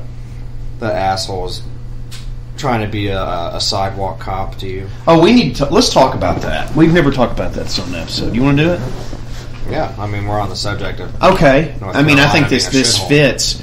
The orange stool um, is in Charlotte, or excuse me, is in Asheville, uh, which is a hippie commune. It's nothing but uh, weed, weed, and weed and hippie dresses. Which, you know what, I I can't do that. I if people are into that stuff and that lifestyle, that's fine. I don't understand it because I don't want to give peace a chance. I want to give my fist a chance because that's just how I've had to do things my whole life. I've had a really rough upbringing and stuff, and my dad is an insensitive asshole. But when you grow up around that, on top of the fact my uncle was in the military and he was really hard on me, um, so you know it was. I took stuff out of that, but I'm kind of a hard ass. So the whole hippie thing, I just don't, you know, because they were in they were in Vietnam, so I just don't, you know, it's just I don't know, it's just kind of a weird thing for me. So I don't like Asheville anyway. Oh, there's Ted Raimi. He's- So we're up there, and there's several stories I could tell you about the Cannibal Corpse incident with the abysmal uh, uh, Dawn douchebags. Um, but we'll stick with the Lamb of God thing. Um, we wanted to meet them, and Randy, of all people, now to, to to set this time frame up for you guys to be specific about it. It's the first tour back from him. Correct. being Imprisoned. In, He, uh, you know, Czech this is all that shit he went through. And uh, I know what you're thinking, Lamb of God, it's not Death Metal, whatever. Whatever. I, I He wants to take your soul, Peter. it was cool. And he got off the bus. He was really awesome. And we we'd been standing out there, and to also set this up, we were out this we we were out there with Sloth John. And this was during the daytime. Um, this was at like we were there early. Yeah, we were there. Like we were out there with PM. we were out there with Sloth John, which is real big fat John, and we were out there with uh, Rat Tail. Rat Tail, yeah. and um, B ninety five, the rocker. Right. And we were out there with uh, Freddie Know It All. Yeah. And then Corey and myself. Uh, Freddie goes to New Mexico by himself to see No, Freddie goes to Norway on a on Norway a, on to a, go on see a Greyhound. uh, Cataclysm Right. and Devil Driver.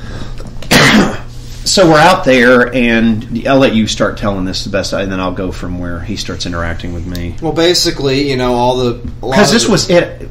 We had we're John- meeting Randy. Yeah, we had John Campbell uh, outside the bass player Lamb of God, and Randy was walking around. He was just hanging out. You know, we were they park the buses right on the sidewalk there, so you can just kind of go uh, walk right up to the bands. You know, it's it's not like a gated area. It's not private. I mean, the bands usually. I mean, we met fucking Jon Schaffer from goddamn Iced Earth over there, which is awesome. He just you know being casual. It's not like it's an invasion of privacy. They're all just kind of hanging out over there by the bus. So it's what fans normally do. If you want to meet people, you go wait by the bus. That's what we were doing. Is before the show, and all we want to do is talk to them. This is way before we did interviews or anything like that. So we were trying to flag down Randy.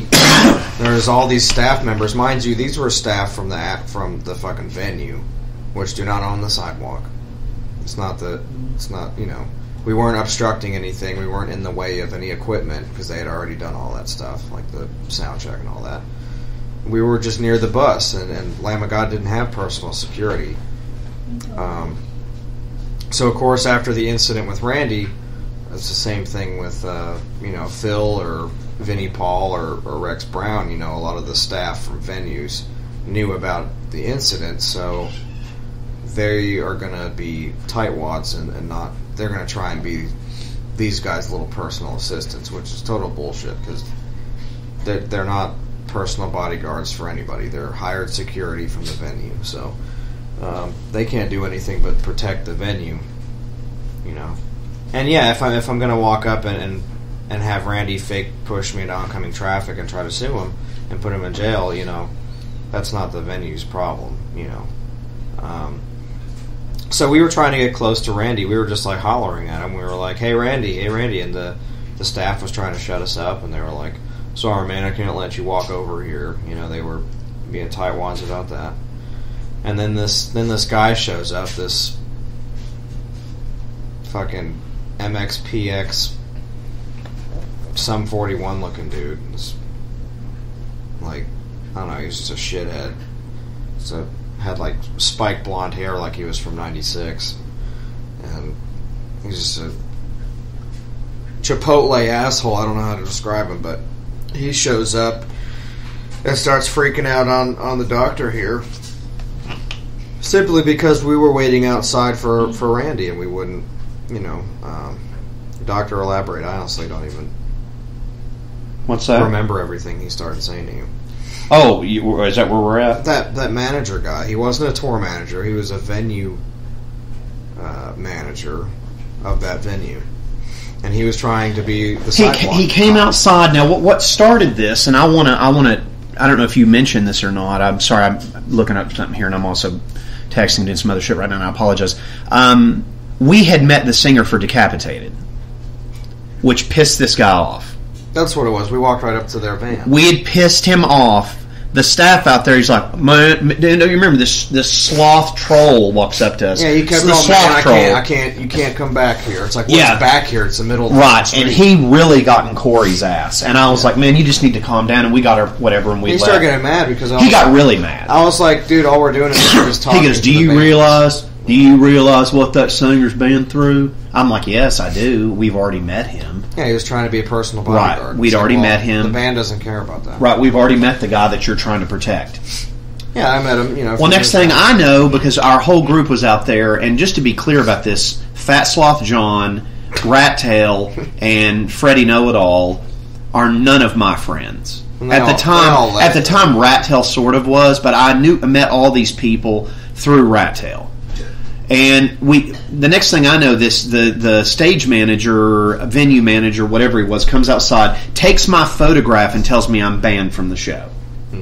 Oh no. And really happened. and and I go in front of and I go and I was like, "Fuck you." Yeah, he walked up And he and goes, like, "I'll "That's take a it." picture." You're he goes, "That's banned." it. You're banned." And I go, "Fuck you. I have a ticket. You can't not let me in." And what I should have done because he came up after that and he put his finger in my face, which is assault. He had it in my face, and then he started tapping me on the chest, which is a no-no. Especially you do that to somebody that actually played hockey. That's like, yeah, I should have. And and what? Now here's the surprising part of this. A lot of people probably wouldn't believe this. You would have proved Corey actually got in his ass because I was about to hit him because I was waiting on him because he kept doing the, the, the, the thing to me. And and but for whatever reason I didn't hit him, and, and you got into said. it. You got into it with him. I was You start calling him a fucking asshole and all this stuff. So it's like you can't do this, and we're going to tell the band. Yeah, I was. Uh, I was like, "Why are you?" Sorry, I'm sorry. I was like, "Why are you being a fucking asshole? We didn't do a damn thing." Yeah, he got all over because I was to the point I was about to snap. Yeah, because I don't. I don't get mad like that. But if I'm mad, I, I rarely ever uh, will will verbally assault somebody. That I mean, I, I seem to bring this stuff on myself. I have no idea why people like to do that kind of It stuff. seems to like me. it seems like a cop out. What we're talking about, we we really weren't doing anything. This venue was being overprotected because they heard some fucking story. It's like, look, nobody got, you know, uh, Willie of Lamb of God didn't get murdered on stage, and we're trying to walk up to him. I, I understand that. This was like some accident that happened in a foreign country where they do that shit on purpose to get money, and you know that's that. This has nothing to do with that. This is America, where they're from. We're paying customer. You know, we're we're paying customers coming into the show or fans. We we've come to that venue all the time. You know, we've seen Lamb of God before, and we already talked to the guy from Decapitated, and we didn't fucking have him push us in oncoming traffic then and, and get killed. So I don't know, you know, what their deal was. They just wanted, you know, with a lot of these these venue staff people, they just want a reason. You know, they want you to give them a reason so they can use excessive force and and be rough on people because their life is, is dog shit. But you know what? That's not our fault. That's not our problem. We're paying customers. We're here to see a show. We drove, you know, hours to get somewhere, and, and if, if we have an opportunity, we can meet the band. It's going to be the band or the uh, tour manager that can tell us to fuck off, not the venue staff. Venue should have no control over the bands because you know why? Because the the venue fucking pays the bands to be there, and we pay the venue, you know, compensation for the bands. So, in that regard, you know, we're definitely allowed to do it the, whatever the fuck we want as long as we're not uh, assaulting anybody. But they can't keep us away from him. He's not Bruce Dickinson, you know. And of course, bands like that have their own fucking staff, you know. To if, if they don't want to be touched or bothered, they're going to have a tour manager or you know uh, some kind of personal bodyguards to keep you pretty fucking far away from them. But that's a different story. With Lamb of God, they were casually walking around because they don't care that fans approach them. They're very knowledgeable and respectful to fans, and you know you can say that about that whole band. Um, so eventually, after this whole thing, none of the bands were out there at the time. Nobody else was out there. It was me and me and the doctor, and that guy was shoving his fucking little, fucking decrepit hands in his face. And I was telling him you're a fucking asshole, and he was like, "You want to be banned too, bro? Your friend's not coming in with you." And I was like, "Well, he got a ticket, so you know, whatever. We'll figure something out." He's like, "Well, this is my venue, you're not getting in," and all this bullshit. And eventually, you know, we uh, we we met Randy. Randy was super cool. We told him what happened, and he said, "If if if they're not letting you in the venue, then you come talk to me." Because we even told him, you know, we're sorry about what happened to you in, in the Czech Republic. That's awful. Uh, glad that you're back. We're we're glad that the new record's coming out. It's good to see you on tour, and uh, can't wait for the show. You know, being super respectful. And Randy had a lot of good good insight and stories about what happened, and um, didn't talk too much about that, but we. You know, had a good conversation with him, and it was fun, and that's all. You know, that's all we asked for out of the show. So, uh, but Randy stuck up for the doctor too. He said, if, if, if they will not let you into that venue, then you come talk to me. But luckily, we we ended up getting. How'd you end up getting in again? Didn't they apologize? no, now here's what's really interesting about that, and I don't know the answer about Well, that this guy to this. never well, actually well, I can give. Well, no, no, he did. and this is where, and, and anybody that wants to Dead end asshole. anybody wants to, you know, have a problem with uh, Lamb of God, this is something really cool about it. Well, about 30 minutes after that happened,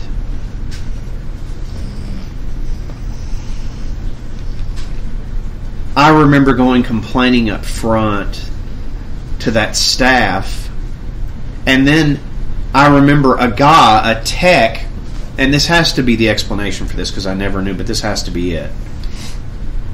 The, the tech told me that he was going to tell the band. Well, the next thing I know, every bit of that staff that had been mean to us was sucking my dick. Yep. No, I'm not even joking. And then at the end of the night, Willie came over to me.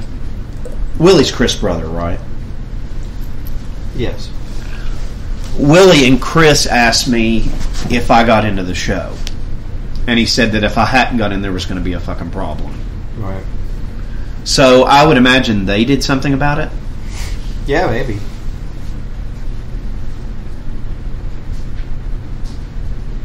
Oh, the whole thing was a fucking mess, and, and to sum this all up, just don't go to North Carolina. You have to, look, if that's the closest thing to you, and you have to miss a whole tour over it, it's better that way. It's honestly not even worth it. I don't care who's playing. In North Carolina, just don't even go.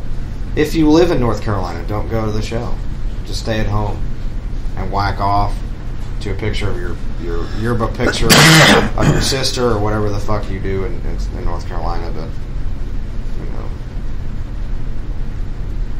I just wouldn't even wouldn't even fool with it. I would just steer clear and go to the next city over, wherever that is.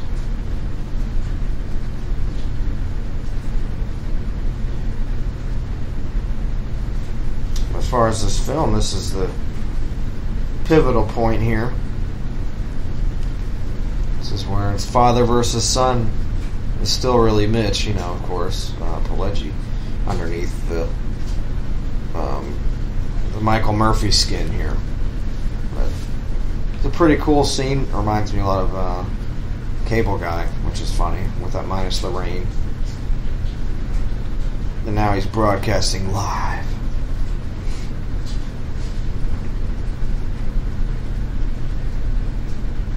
Which is pretty cool. This is very funny. Just I'm nationwide now, asshole. just goes and NBC's it to the city.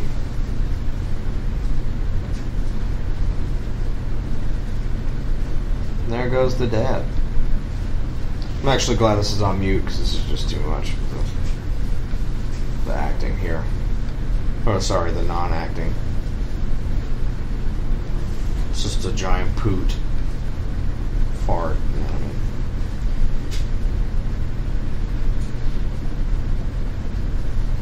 No, no, this is uh.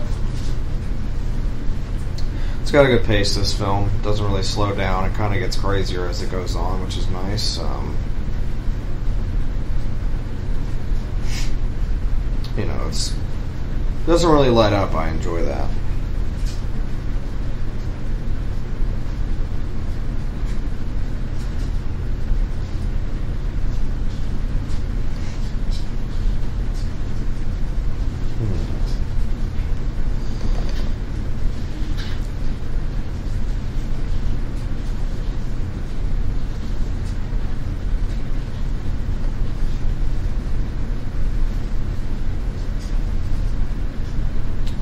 Derp. And of course, right there, I believe it's John Tesh, the TV broadcaster there. It is John Tesh.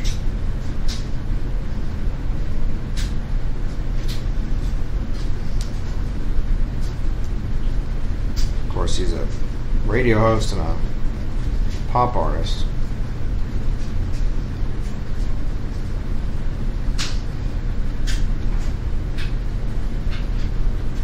He's a Jesus sucker, apparently. So.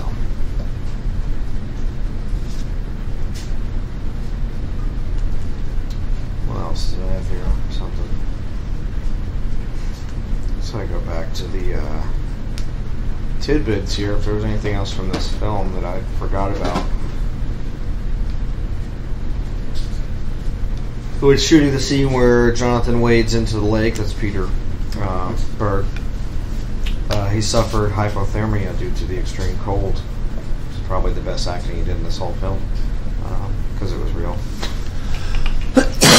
Um, when Jonathan and his father enter the tavern after the funeral of their family, news program is playing on the TV in the background discussing the murders. Someone immediately changes the channel, and it shows the uh, Nightmare Returns tour 1986 from Alice Cooper. So Nice. It's pretty awesome. Give a little nod to the to the Alice. It's pretty cool. Um,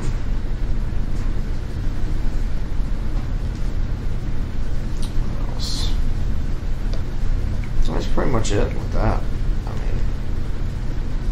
I mean, these guys done much else after this film? See what Mitch Pileggi has going on. Which he has a birthday coming up. April 5th is uh, Mitch Pileggi's birthday. He'll be uh, 66, I believe. He's Oh, really? He's going to be in that new Transformers movie, uh, The Last Knight. Really? That's interesting. It is. It's Mitch Pileggi. I'm sure he's going to be some kind of a FBI guy or something. Nice. I would imagine. He's going to have maybe a.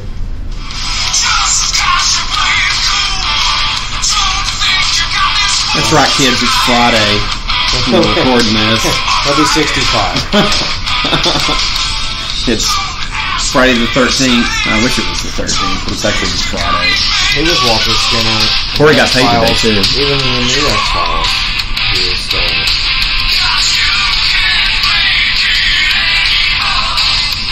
That's a fun thing we can do. We're gonna see what else the, the cast of this does now if they're doing anything. So we got Mitch Pileggi, of course, the only one that had a career starting this movie to begin with.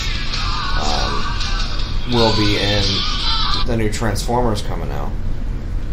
That movie looks awful. It does look awful, but I'm gonna go watch it. It's all those movies are awful.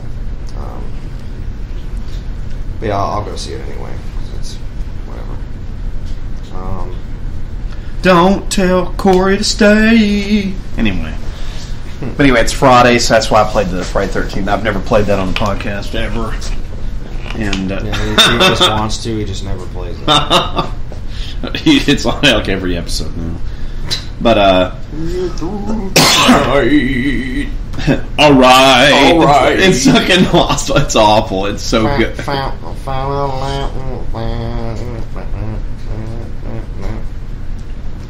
That would have been weird if Crispin Glover played this role. Why are you dead? This is the lake part where I guess you got hypothermia. Um, why was that so easy the first time to get? and Now it sucks. Now let's see. When the last Knight comes out, you can catch Mitch Pileggi, June twenty third. Try will be in New York for that. I forgot he was in Basic Instinct, Mitch Pileggi. That's funny. Heather Langenkamp. She's uh, she just does horror conventions and bails. Is what she does now, I guess. I don't think she has any new movies coming out. Uh, got one called The Sub that was made. Short that was made in 2016. She's in that. That sounds like my last visit to the toilet. She's gonna she's gonna be in that new Hellraiser Judgment piece of shit that's gonna come out. She was also in uh, the Doctor's favorite movie, Star Trek Into Darkness. She was in that. Yeah, I love that film. I didn't know that. I absolutely love it. I, I love the. He has the soundtrack to it. He's also got a T-shirt from uh, Trek Rags. Let's see what Peter Berg's not doing since this film. We got. Uh, he was in those Purge movies. I didn't know that. Who was? Or he was. Uh, let's see.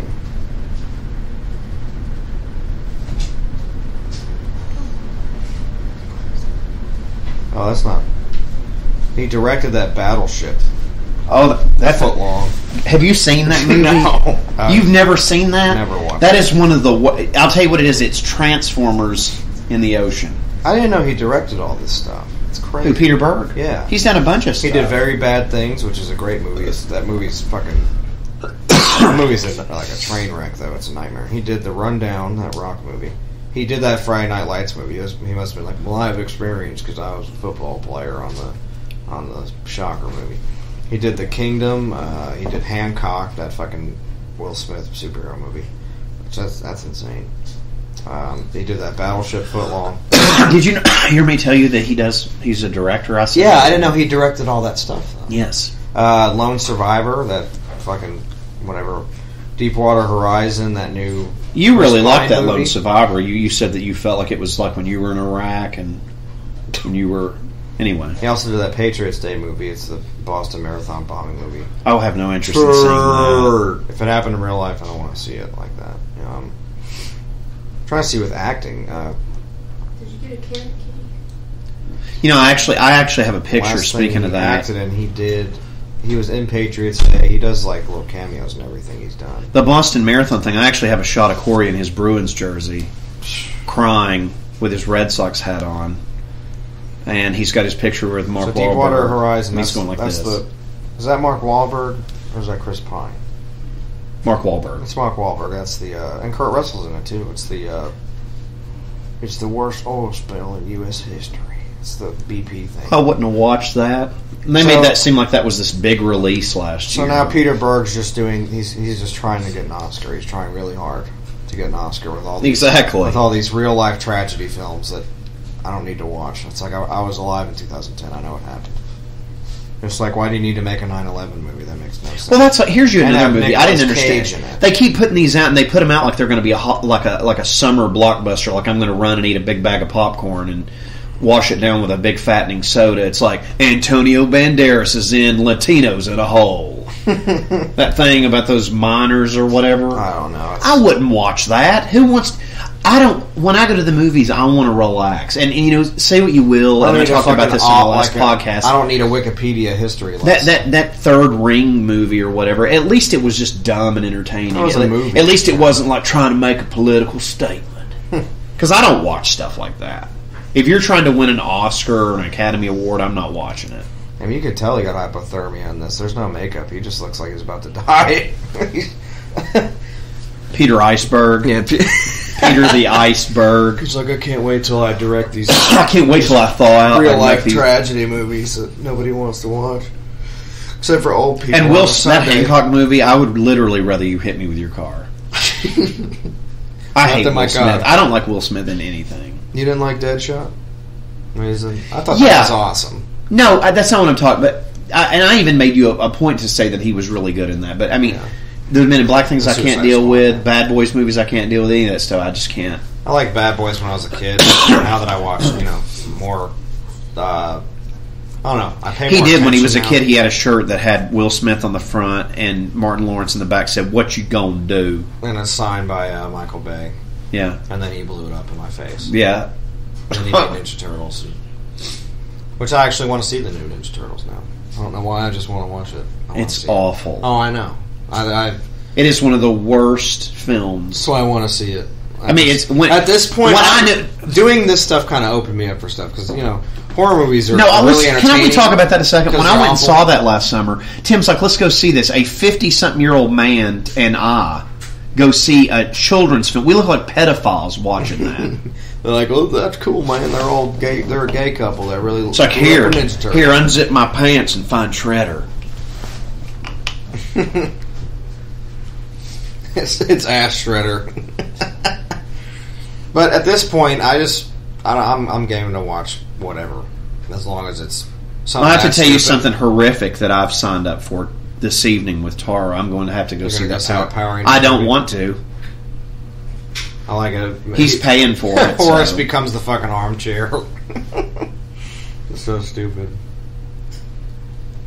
You know, the digital effects in this were way ahead of their time. They were, yeah. They're really good. They're good. Yeah, the effects are really nice in this. You know, to go back to the Asheville thing just briefly, I remember Rat Tail 2 being like, well, what'd you think? It's Yeah, like, well, what, what, well, what did you think about me getting treated like... He wasn't even there. He like took a beeline out of there. That's what he did. Didn't all of them? Yeah, they were. They weren't even there when that happened, or they did. They're like, "I'll see you later. I'm going to go inside and watch angelic butt semen." They. He was. Remember, he was trying. Well, to, what'd you think? He, he was. he was trying to blow us off, like for some like local band. Do you remember that? He must have knew them or something. He did He that. like, I'm going to see Angelic Collision. he, he did Like, that. what? He did that at uh, Iced Earth too. Do you not remember that? He was like, oh, it's the same We met band. the entire like, I'm going to go see Angelic Collision. It's a local band. Justin Colton really liked them. So told me to go see them. They're going to get me Epic Rail. and Horace Pinker's back. And then and then he comes out wearing an angelic explosion T-shirt, and he's like, "What'd you think?" What'd you think? I want to actually tell this uh, one other story. I don't remember what show it was. It, it was either that one or Cannibal Corpse or something. I don't remember. I think it was Cannibal What'd Corpse. you think? Where we ended up walking 30 miles to a McDonald's or something. God damn, that was Cannibal. Do you remember that? Yeah. It's because my fucking brother was like, I don't really have the money to eat here. It's like, Which well, was why would you bullshit. go to a fucking show and you don't have money to eat? But no, you don't remember what he ended It's like up an hour lying and and a doing? half. He ate at He some went to like that $20 goddamn Mexican. twenty dollar burrito. Or Yeah. something. He was like, I got, I just got the buffet. It's like, well, they don't have a buffet here. Well, I got a buffet. Okay, the guy that did the visual effects. This was his first film. Um, he did the effects for it. It's What'd you think? Alan Barnett. he went on to do uh, digital effects for Batman Forever, which I love. Uh, Species, which is a good uh, wacky, wacky pulley. And then uh, Waterworld, which is awesome. I love that movie. That Kazam movie with Shaq. Uh, Volcano. I haven't seen that in years. Volcano, uh, which is a great, that is a good disaster movie. It's Tommy Lee Jones, Anne Heche, Don Cheadle. Uh, he did the digital effects for Spawn. That movie's awesome, uh, effects wise. It's awesome. Can I start calling you Corey Lee Jones? That's Tuna B. Jones, is a two door hero. And then just special effects. You know, I just thought I want to talk about this a La- Larry Fioritto was the special effects art department and also visual effects, and he did uh, I don't know, just did some little films. I first actually he was on he was on uh, Knight Rider. He did the effects for that. Then he went on. you mean do- Not Rodder or My Not Rodder? You're a Knight Rider, Oh. 84 to 86. Uh, he did The Return of Michael Myers. He was an effects coordinator on that. Then he did this film. Uh, did a little film called called Reservoir Dogs. And then went on to do uh, Maniac Cop 3 Badge of Silence, which is awesome. Uh, it's a turd, but it's awesome. I love those movies. No, they're fun. Yeah, he did. Uh, he was a special effects coordinator on Pulp Fiction. What'd you think? What'd you think? Uh, the Prophecy. Christopher Walken? Yep. 95? Yep. I love that movie. It is good. You know, one of those, I believe it's either part two or part three, has Danzig in it as an angel. Yeah, I can't remember which one that is. It's one of those. I saw his record got announced. He did. He did Jack Jack Frost, the uh, the horror movie with uh, Snow Day? Yeah, I've seen yeah with uh, Shannon Elizabeth, uh, Children of the Corn, Isaac's Return. So I can't remember which movie that is actually good. Uh, Big Mama's House, yeah. Uh, the Forsaken, which I think you asked me on the Mille episode. Um, vampire movies I like. Forsaken's actually really good. I like that one. Really? Um, Frailty, Tremors 3, Dark Blue. Tremors 3 is a terrible movie. It is awful. Uh, Carnival, that TV show, he did one episode. That's not notable. Uh, Thank You for Smoking, which I love. That's Aaron Eckhart. It's a really funny movie. If you haven't seen it. Um, Which one? Thank you for not uh, thank smoking? thank you for smoking. Thank you for smoking? Yes. I think Incarnate's a good movie there, Nick Carter. Yeah, I want to see that. Said it was good. Check it out. What'd you think? Hmm, what'd you think? I actually think wheelchair fucker would actually hit him if he had to deal with him Oh, a lot. God. Can't even imagine. Do you know what I mean? And Jens doesn't really snap, but I think he would actually make him snap. Because we would literally walk out of a show and he'd be like, What'd you think? Be like, I think you're a fucking idiot. Because he, I bet he's still duck footing, duck footing in those trip pants Duck footing. You guys would just have to imagine that he's in. He's like in, 6'5". He's in, yeah, and he's he's got the the mall hot garbage. He's uh, hairier than my dog here. He's got the hot garbage. Uh, 2003 trip pants. I thought you were going to say hot garbage teeth. No, I, I, I, I, call, I know. No, listen, that's what I call hot Sorry, topic. he's got he's got a truck stop teeth. He's got the, he's, he's got the No, listen. He's got the Charlotte towing service teeth. listen, listen. No, listen. No, it's rocker service. no, listen. I, Tony's rocker service. no, listen. That's good, but I call hot topic hot garbage. Yeah, oh, okay. because it pisses off like anyone that will be in there. It's just like, uh, do you want to go in hot garbage? I can't deal with it. I feel like I need a fucking walker when I go Maybe in there. pick It's out an like Adventure Time notebook while you're there. no, no, literally. If, if, if I go in there with a woman, if I go in, I literally feel like I'm just like, Grandpa's gonna wait out here on you. it's like that's what it feels like. I'm like if I went in there, if I went in there with you or Miss Squircrot, like I literally be like, y'all pick you out some whippersnappers in there. I, I just can't deal with it. It freaks me out when I go, and you can't walk. It's like walking in somebody's closet slash toilet. It's like it's just like, and nobody says excuse me. It's just like armpits bo, armpits bo, and you can't move. And there's some girl walks up. It's like I really wanted attention to get this job. my my boyfriend lifts up my gut and plugs me, and it's just like it's like.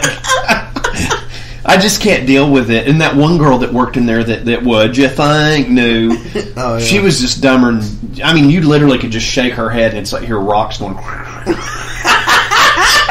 Because every time I go in there, and she'd be like, "I saw you down that shade," and I'm like, "Which one?" Because I go to a bar. It was just like, I mean, she. I know she wasn't. Didn't. And then Anthony's like. Would you think I fucked her the other night? And I'm just like, I don't believe yeah, that Yeah, at the because I- bar. you don't remember? No, not that one. The one that worked at Hot Garbage. He said he used to pork too. Mm-hmm. You know, if we asked him, we'd be like, "It's weird." He used to just like drink with that with that little UFC kid down at the goth night, and he was weird. yeah, you know they would. If you really because that girl's come up to me many times. She's super nice, but she's. I actually think she's gay, and that's which is lesbian, fine. yeah. That's what I'm saying. I never understood. He's like, yeah, I'm fucking both of them. It's just like, Yeah, I even told him I was like, "Well, she's a lesbian." He's like, "Well, before that," I was like, "Oh, well, she just like automatically was a lesbian." oh, I get it. She slept with you and then went gay. That makes sense. Yeah, that actually does make sense. I know. Then I'm like, what'd you think? She saw my hairy honker. What did she think? She saw that mushroom and, and in forest and was like, "What'd you think?" Do you like my Rammstein uh, tramp stamp? God. you saw my hillbilly bag. And I never, I never think? understood that. Y'all, you have to also realize this. Uh, what'd you think when we met him? Like every time I'd say, "Hey, just wanted to tell you, just shooting you an email, letting you know, me and Carrie Broger's going down there to going to see Rammstein in, in Fort Lauderdale, Florida, for four nights.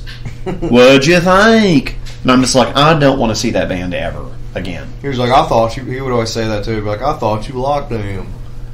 I thought you were into them." And you were like, "When have I ever been into that band or told you?" It's like, "Oh, every time I play it in the car, you seem to like it." It's like, you're no, now I'm- I just want to tolerating I want to jump out of this. Fucking I'm car off the tolerating. Barbie for the minute, but I want to jump out of this fucking car off the mountain, but you know. But he would do he would do that, and he would do it all the time. He's just Oh. like, just letting you know, me and UFC Classic and and Freddie Mexico are going to see Non-Point. You in? I'm like, no. Non-Point. It's like, no, I'm not into going to see that. I, I wouldn't go see that if you fucking paid me. Hey man, just letting you know, Korn and In Flames are doing it a tour, dude. going up there to the Orange Stew. What'd you think? And I'm He- like, wouldn't he call you after the show was over that you didn't care about? He was like, "Man, you should have been here." He was running around with a firecracker up his anus. yeah, that was his whole thing. Was he was just like, when I go to a show, I want to see a show. I don't want to see bands standing there. I want to see people running around. But now with that six when I when I look back on it now, I think all he wanted to meet was was young boys to, and then they could just rub each other during the show because it just Clap it just doesn't. It's the truth because I never understood that whole thing because I didn't tell you this at Kreator. Uh, this whole rest of this movie is just bad shit. That's why we're just talking. It's just like I can't even explain what's going on in that. Yeah, you can't. It's craziness. He Yeah. went inside the TV and they had like a, a, a Mommy's haircut, uh, denim corduroy, and uh, Cole's hot hot Marinara. Subway. Hot marinara. yeah, they were there. And what was so funny about Oh, it the was Epic Rail Crew.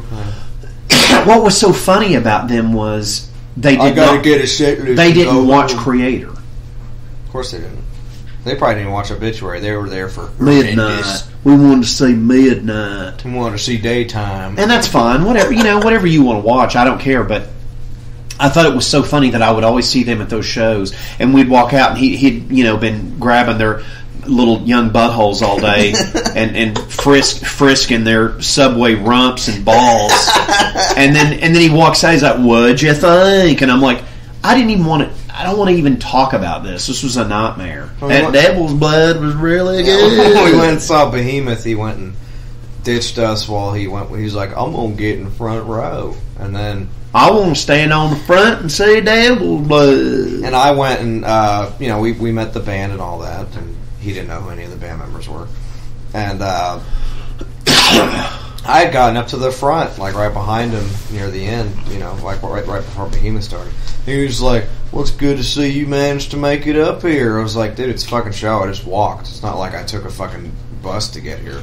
You know, you just walk straight and you'll get to Where the have you been all night? You're supposed to be up here up front and frisking, frisking, finding Colton's little, finding his love ring that smells like Subway. Well, uh, well, now that that the film's over, what'd you think? yeah, what'd you think? I mean, I don't know. It, Mitch Pileggi is this film, and it, he- it's the driving force. If you even remotely like him, It's and this great- this a movie got. Ripped, I want to say this real quick too. This movie got ripped off by a movie called The Horror Show. What's that? I'm, I'm actually glad you asked. The Horror Show is considered one of the house films in Europe. It's considered a house sequel. I believe it's House Three. Weird. But in America, it was a, it's a Lance Henriksen movie, and it's a complete rip off of this movie. Genre. Really? Yes, I own it. I enjoy it. But it's so is rip-off. Lance Henriksen the main character, or is he No, the killer? the main character is a guy named Max Jenkins, and it's played by uh, the dude. He's a character actor. He was in uh, Blade Runner and uh, Huh. Tango and Cash, and uh, I can't think of his name. He's been in a bunch of shit. He was in Forty Eight Hours with Eddie Murphy. And yeah, yeah, yeah.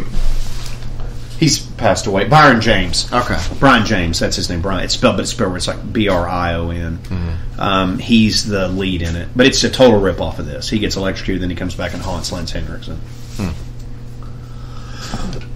Good movie. And what's weird about the horror show though is in Europe it's called House Three, It's weird.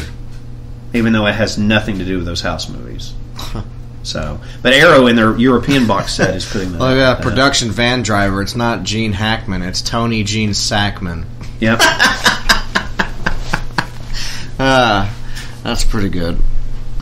Uh, anyway, it's a good, you know, nothing else to say about Scream Factory. You know the drill. It's looks great. Um, you know the print's always awesome. The soundtrack is is the whole bells and whistles for this film. Uh, they actually have a really cool segment on this Blu-ray about the soundtrack and the making of it, which is really Yeah. cool. If you guys have this film at home, or you should definitely check it out. Um, And when you get done, we're going to ask you what you think. yeah. And There's an apprentice editor was Jonathan Craven, who was the jogger in the film. Uh, he's also one of the visual. Is he related to Wes? Yeah, that's his son. Oh, okay. Um, I think his daughter was also in this film. Interesting. Uh, Jessica Craven. Um, It's- Corey Craven yeah, Corey movie. Craven. It, it was a good, you know, it's a good film. It's funny. Um, it's batshit. That should be our food line. Corey's Cravens. Corey's Cravens. Yeah, that's good. I like that. And the, Um, oh, the back of it says it says it's good. Yeah, it's good. What'd you think? Um, you want to say Peter Berg act? If you're more familiar with him as a director, you should just leave it to be. You know, leave it, leave it to Beaver. Yeah. because uh, yeah, he's not a good actor, but you know, he's a he's a good director from the looks of it. He tries to do all that stuff. Um, but yeah, the soundtrack is really awesome. Uh, got some nice little cameos in here. Ted Raimi is in this film for a little while, and uh, Kane Roberts makes a good appearance, and uh, Wes Craven's a, a neighbor in the film, which is cool. So yeah, this it- it's a good movie. It really is. It's, it's hard to keep up. This is again. This is Alive Films. This is the the same line as, as when we watch Prince of Darkness. It's the Yeah. same. Uh, the same run. Yeah. yeah.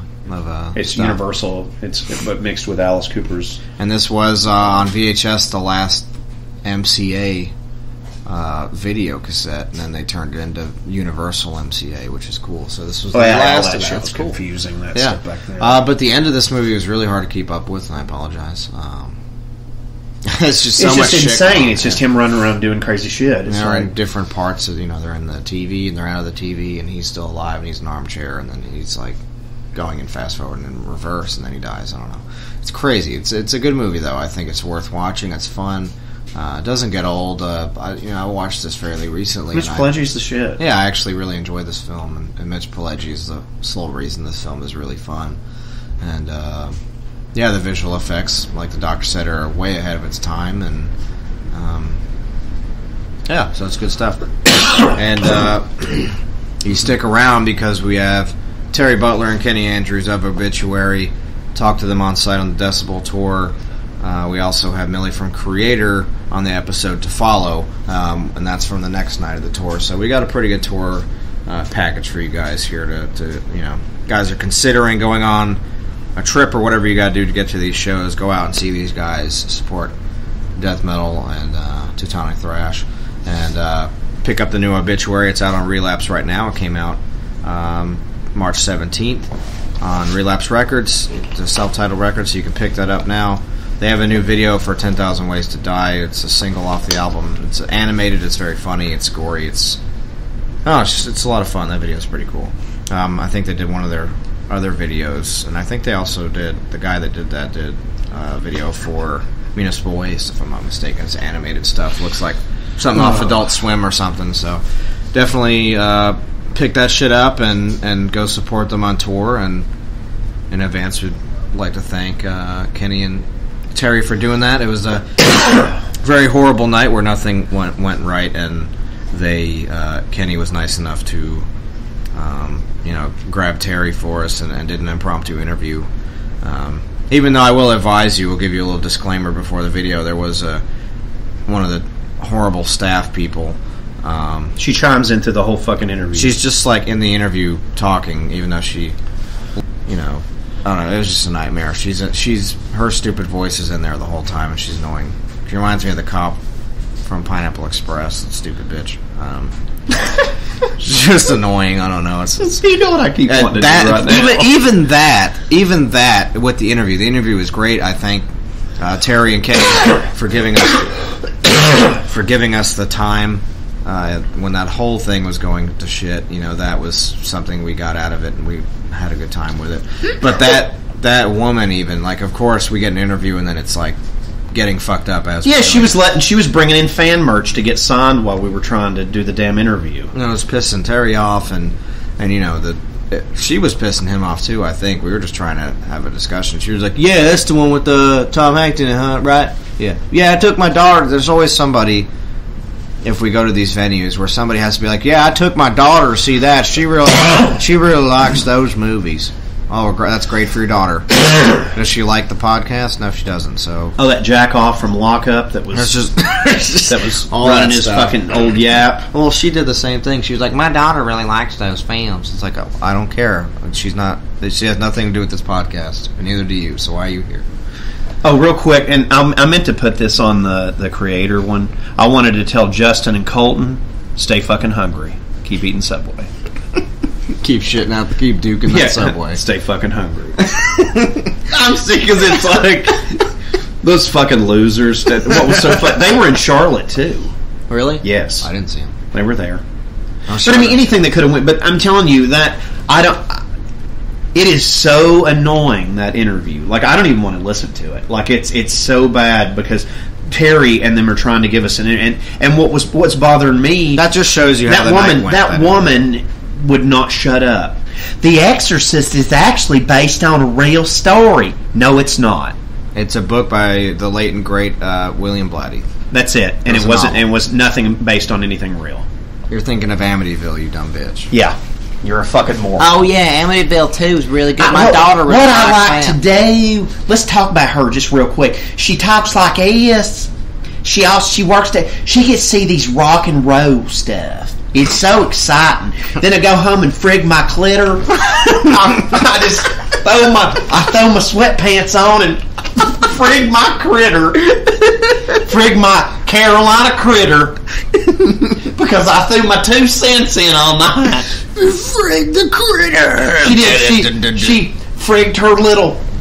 She pulled. She pulled those sweatpants down and and and parted the the Jurassic Park and and, and started frigging her little critter fritter. I wanted to be like, "Will you shut up, you fucking idiot soccer mom? I don't need your fucking." I mean, it was every it was every few seconds too. Like it was really making me mad. So be like Terry, uh, this first night of the tour, uh, how the show go? And She'd be like, "Oh, it went great." Oh, I if that had think." been Mille, that would have got bad because I would have been like, "Will you shut the fuck up, please?" But anyway, uh, the interview was great. Other than the fact that, of course, there was still something going on for this night to just not be wasn't meant to happen. But again, I'd like to thank uh, As I die. As as the doctor is going to drop dead here uh, on the podcast when this video's over.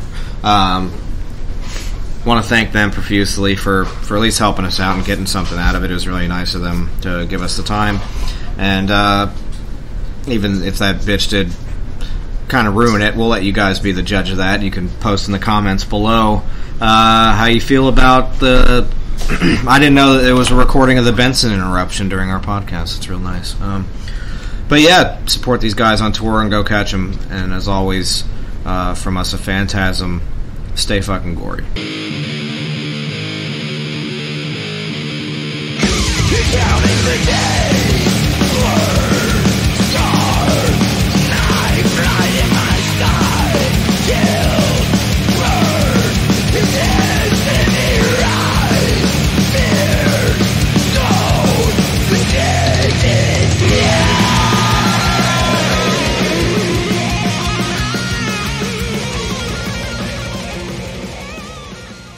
Corey Gorkreitz here with Dr. Vincent West. We are here. We have the honor of speaking with Terry and Kenny of fucking Obituary. How you guys doing? Good. How you doing? Awesome. Uh, first night of the tour. The album dropped today. Yes. Yes. Finally. We'll talk a little bit about that. Happy St. Patrick's Day to listeners Yeah, as well. We'll talk a little bit about uh, the, the process of the record and uh, I didn't realize Oh well, um, it was. We kind of had our backs against the wall for the record because. Oh wow. You know, um, being a touring band, you're gonna have to pick your spots and do it. So Sure. we had a little bit of time, so you know the songs were written and recorded, but some of it had to be recorded on the road.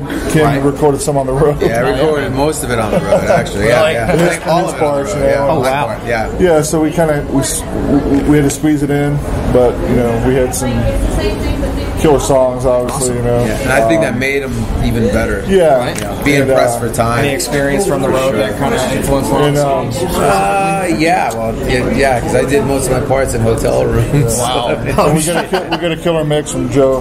yeah, Cincotta. yeah, Joe Cincotta did a great job. So yeah, you know, it was just uh, fast and furious writing, recording. We had a backs against the because we had to start a tour. The Battle of the Bays tour had, Right. was starting in November, and you know, Who was on that October.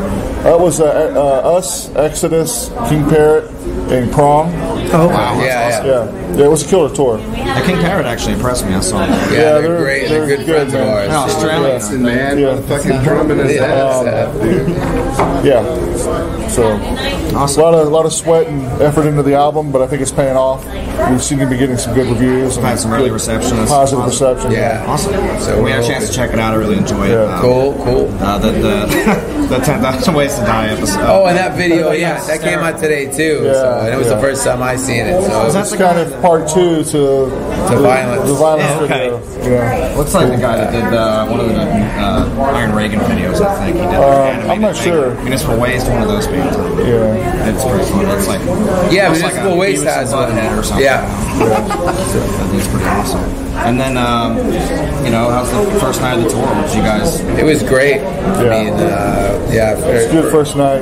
good first night. Yeah, It's a good tour package. right, right, right. Yeah, we're excited for the tour. Should be really good. I'm not bringing him in. Did you, um, No, is it Friday? Okay. Did you all use the? Was the same producer from the last record? Did you use- No, the last record we kind of produced ourselves. Okay. Um, but Joe, he's worked with the Victoria in the past as a sound man. Uh, he's he produced that Ten Thousand Ways to Die live album we did like Okay. in October. Yeah, about that, yes. all the live songs he Yeah. did there. Okay. and you know he's he's he's produced Suffocation albums. Um, you know, run sound for Body Count, but you know, so he's that's awesome. Yeah, he's very knowledgeable in what you know. In the, Made sense to bring him into the mix. Then. Yeah. Cool. Yeah. And then you guys are off to Atlanta tomorrow. Yeah. Yeah, Atlanta, then Tampa. the new masquerade. Awesome. Yeah, then we head out west. The new masquerade. It's weird, man. Have y'all been there? No, no, we haven't. It's really weird. It's. I mean, Is it's, it? Yeah. It's not it's- cool as a- no, it's cool. It's just. It's really strange. Is it I'm so far- used to going. Is it yeah, far 'cause- from the other one? Yeah, It is. I think it is. Yeah, it's if you've ever been in that underground mall thing, that's where it's at now. No. It was built during the Olympics or whatever. It was. Yeah, I know what you're talking oh, about, but I, And it basically was like, looked like it's condemned, and then they put it down there, and he- heaven's across the way, and then hell's over there, and then Oh, purgatory. alright, so it's, but it's a big venue. I, we, I've actually been several times this year. I can't believe I've already been there that much because I used to go to the other one, but definitely not as cool as the other one. Right, right. Everybody said the other one was haunted, so. Yeah, yeah, right, right. That made it cooler. But, but yeah, definitely. So, what about the um, why? Why just go with the, the artwork on the new record? This is the, the, the Well, symbol. Do you think? I I think you know, there's no way we can top Inked in Blood as far as art, as far as Yeah. artwork. Ball So we, ripping is and it's our tenth album, so we just had the, the concept. Let's let's go the other way with it. Let's scale it down, make it simple, have a killer logo. It's our black album, so to speak. Right.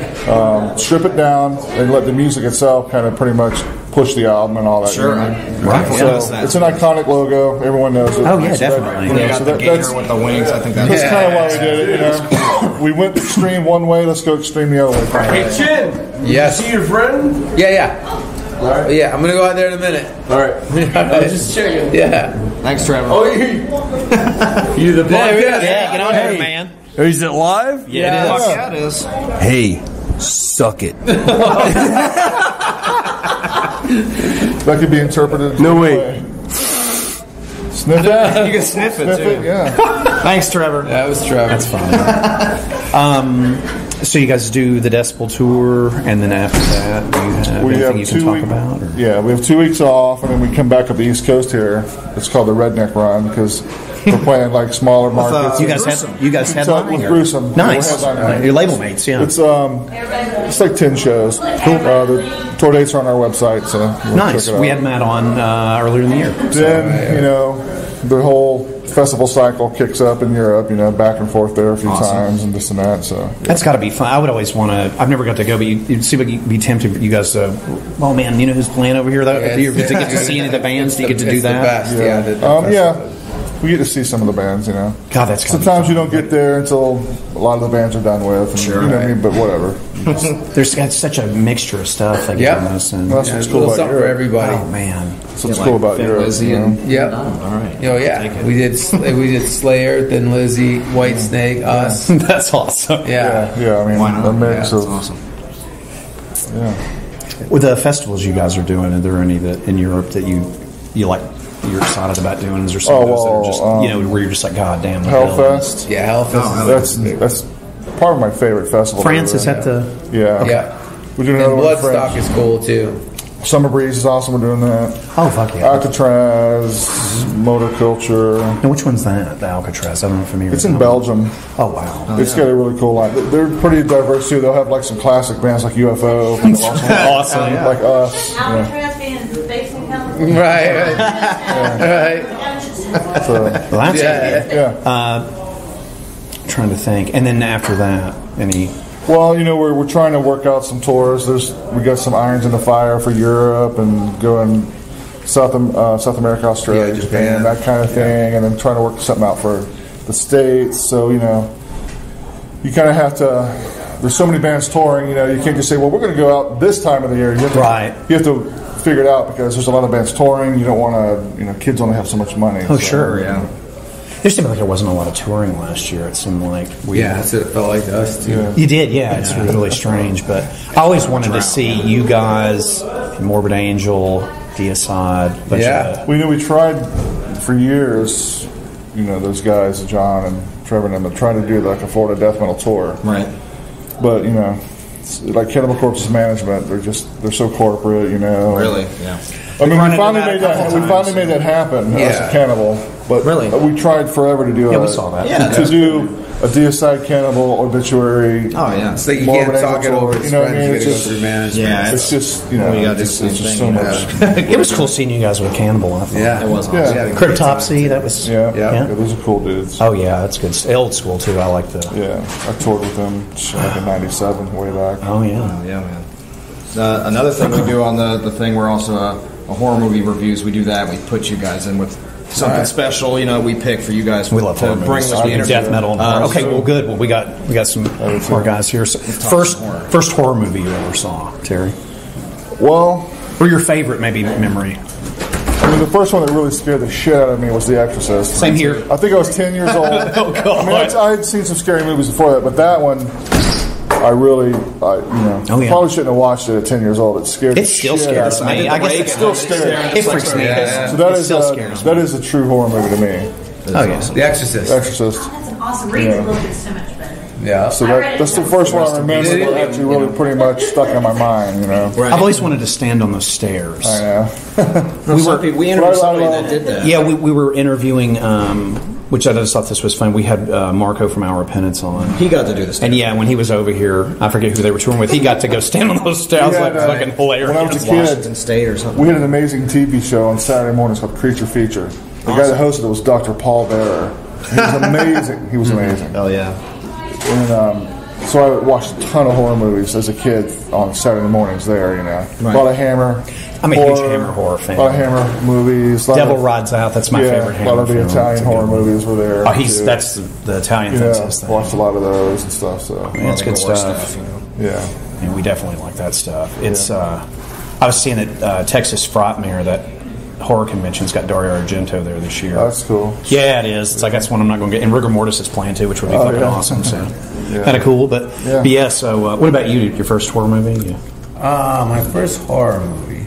You know that scared you. You were like, fuck. Yeah, yeah, yeah. it, it could it could have been The Exorcist. I can't really remember, but there was one that was that was smaller. It was uh, it's a film called Audrey Rose, and it was about a chick to get reincarnated, but she got burned up as a kid in a car. and my uncle took me to see that one, and I just I fucking freaked out. Has anybody ever seen the Serbian movie? The Serbian No. film. Uh, no, I want to see that. Oh. It's brutal. I heard. Like, It's actually unsettling. It's like Yeah, Is it? it's very. you can't unwatch that film. Oh wow! One When of I was those. a kid, um, Oof. there was a local theater in Plant City, and there was a stand-up for children shouldn't play with dead things. Right. Oh wow, That that's movie from awesome. '73. I remember that being a little kid. That guy in that movie always creeped me out. Ormsby. Yeah. Yeah, yeah. Vincent Price. I'm a big Vincent. Price. I love Vincent Price. Oh, it's man. classic. You know, I just You I can't. Oh, it's fucking. Yeah, It's we killer. we did. Uh, Pit and Pendulum. I love that. oh movie. man, that movie's awesome. We did Witchfinder General recently on the podcast, so That's that was great. cool. Yeah, It was fun to we had watch. fun with that. But, Yeah. uh, but yeah, it's always. It, I don't think a lot of people, especially younger people, appreciate the Hammer stuff or the No, Vincent they- Price you know, stuff, and it's fucking people- awesome. It Yeah. really You know, is. they- they wanna the sh- mood. It's like They man. want to see Sharknado Five or off the Ceratops versus you know, Anything CGI. Synth Lizard or some stupid shit. You know? You know, the only, and I, we had this conversation recently on the podcast when we were talking one day, and I, I think the only newer horror movies, and I'm not saying they're really doing anything really new with it that I like, are those Conjuring movies. I actually think they're pretty fucking cool. Yeah, Conjuring's pretty. Good. Man, that, My daughter that into second one more was fucking stuff. nuts, Yeah. man. It we went and watched that in the theater, and I was like, God damn, this Which is one? fucking crazy. The second Conjuring. Oh yeah, It's like you uh, know. I mean, the first one's good, villains too. those are pretty good. Yeah, I mean, for what it is, but you know Yeah. what's funny about that? Speaking of the, your uh, Lightning fan, uh, which I love this. Yeah. The guy that the guy in that movie, the main that plays uh, oh uh, Uh, Ed Warren. Yeah, he's a huge Lightning fan. Patrick Wilson. He is Yeah. a He's huge. from Tampa. Yeah. You know what's funny? His father is the, for a long time, was a news anchor on Channel 13 News. Wow. Yeah, That's amazing. And his, his brother is the anchor on there now.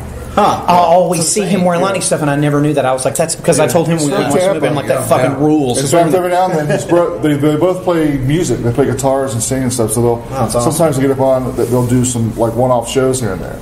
That's cool. fucking you awesome. ever seen them play? No, Stuff like no, that? but I've heard. That's fucking cool, man. Yeah. It's just cool. It's just like because those movies are fucking huge, and it's, he's wearing lightning shit Yeah, in the those are playoffs. It's, like, it's awesome. newer movies. Yeah, I mean, for is there anything newer that you like that you've seen that you were like, man, this is pretty cool? Uh, Because I'm real, I'm not real. I would rather go watch the old shit myself. Not a whole Especially lot. the Blu-ray stuff now. You can just watch. Did you it. get to see the new Right, right. Phantasm? It's actually pretty cool. No, I haven't seen that. You know what movie I liked? A lot of people kind of hated. I like The Witch.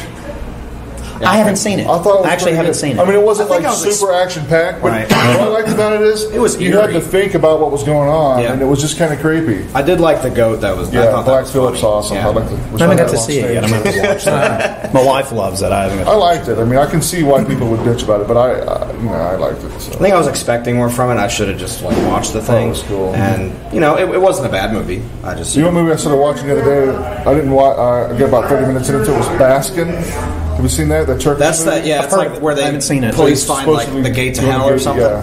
That that movie's really cool. It gory. was pretty good. I, I got I got sleepy and had to turn it off. Whatever. What was the, uh, the, the? We were interviewing uh, Phil Anselmo, and he kept on and on about the Greasy Strangler. The Greasy Strangler. Yeah, so we watched it. That is the most bizarre movie I've ever I seen in haven't- my I fucking haven't seen- life. heard of Coming that. from You that. should watch it. No, I mean it is nuts. Like Oh, you know it, movie it's I tried not to watch even. the day was uh, Antichrist with Willem Dafoe. That Oh, movie's insane. Yep. I, I, that's another one I got about thirty minutes into. Yeah, it's it's really a new long. Movie. There's a book that's a comedy about the Antichrist. Oh, really? Actually, where they mixed up the babies at birth in the hospital. the book is, I forgot what it's called. It's hilarious, but they're actually making. It's an anti-birth, maybe. That I've heard about that. I don't newer stuff I just don't. I try. I watch some of it, but it's So, just so like, much of it's just trash. My wife, my wife will watch Yeah. fucking anything. She'll drag me to see it. Uh, I'll tell you a movie if you've not seen that I'll, I'll recommend to you that I actually didn't want to go watch and she kind of dragged me to it was that Incarnate movie.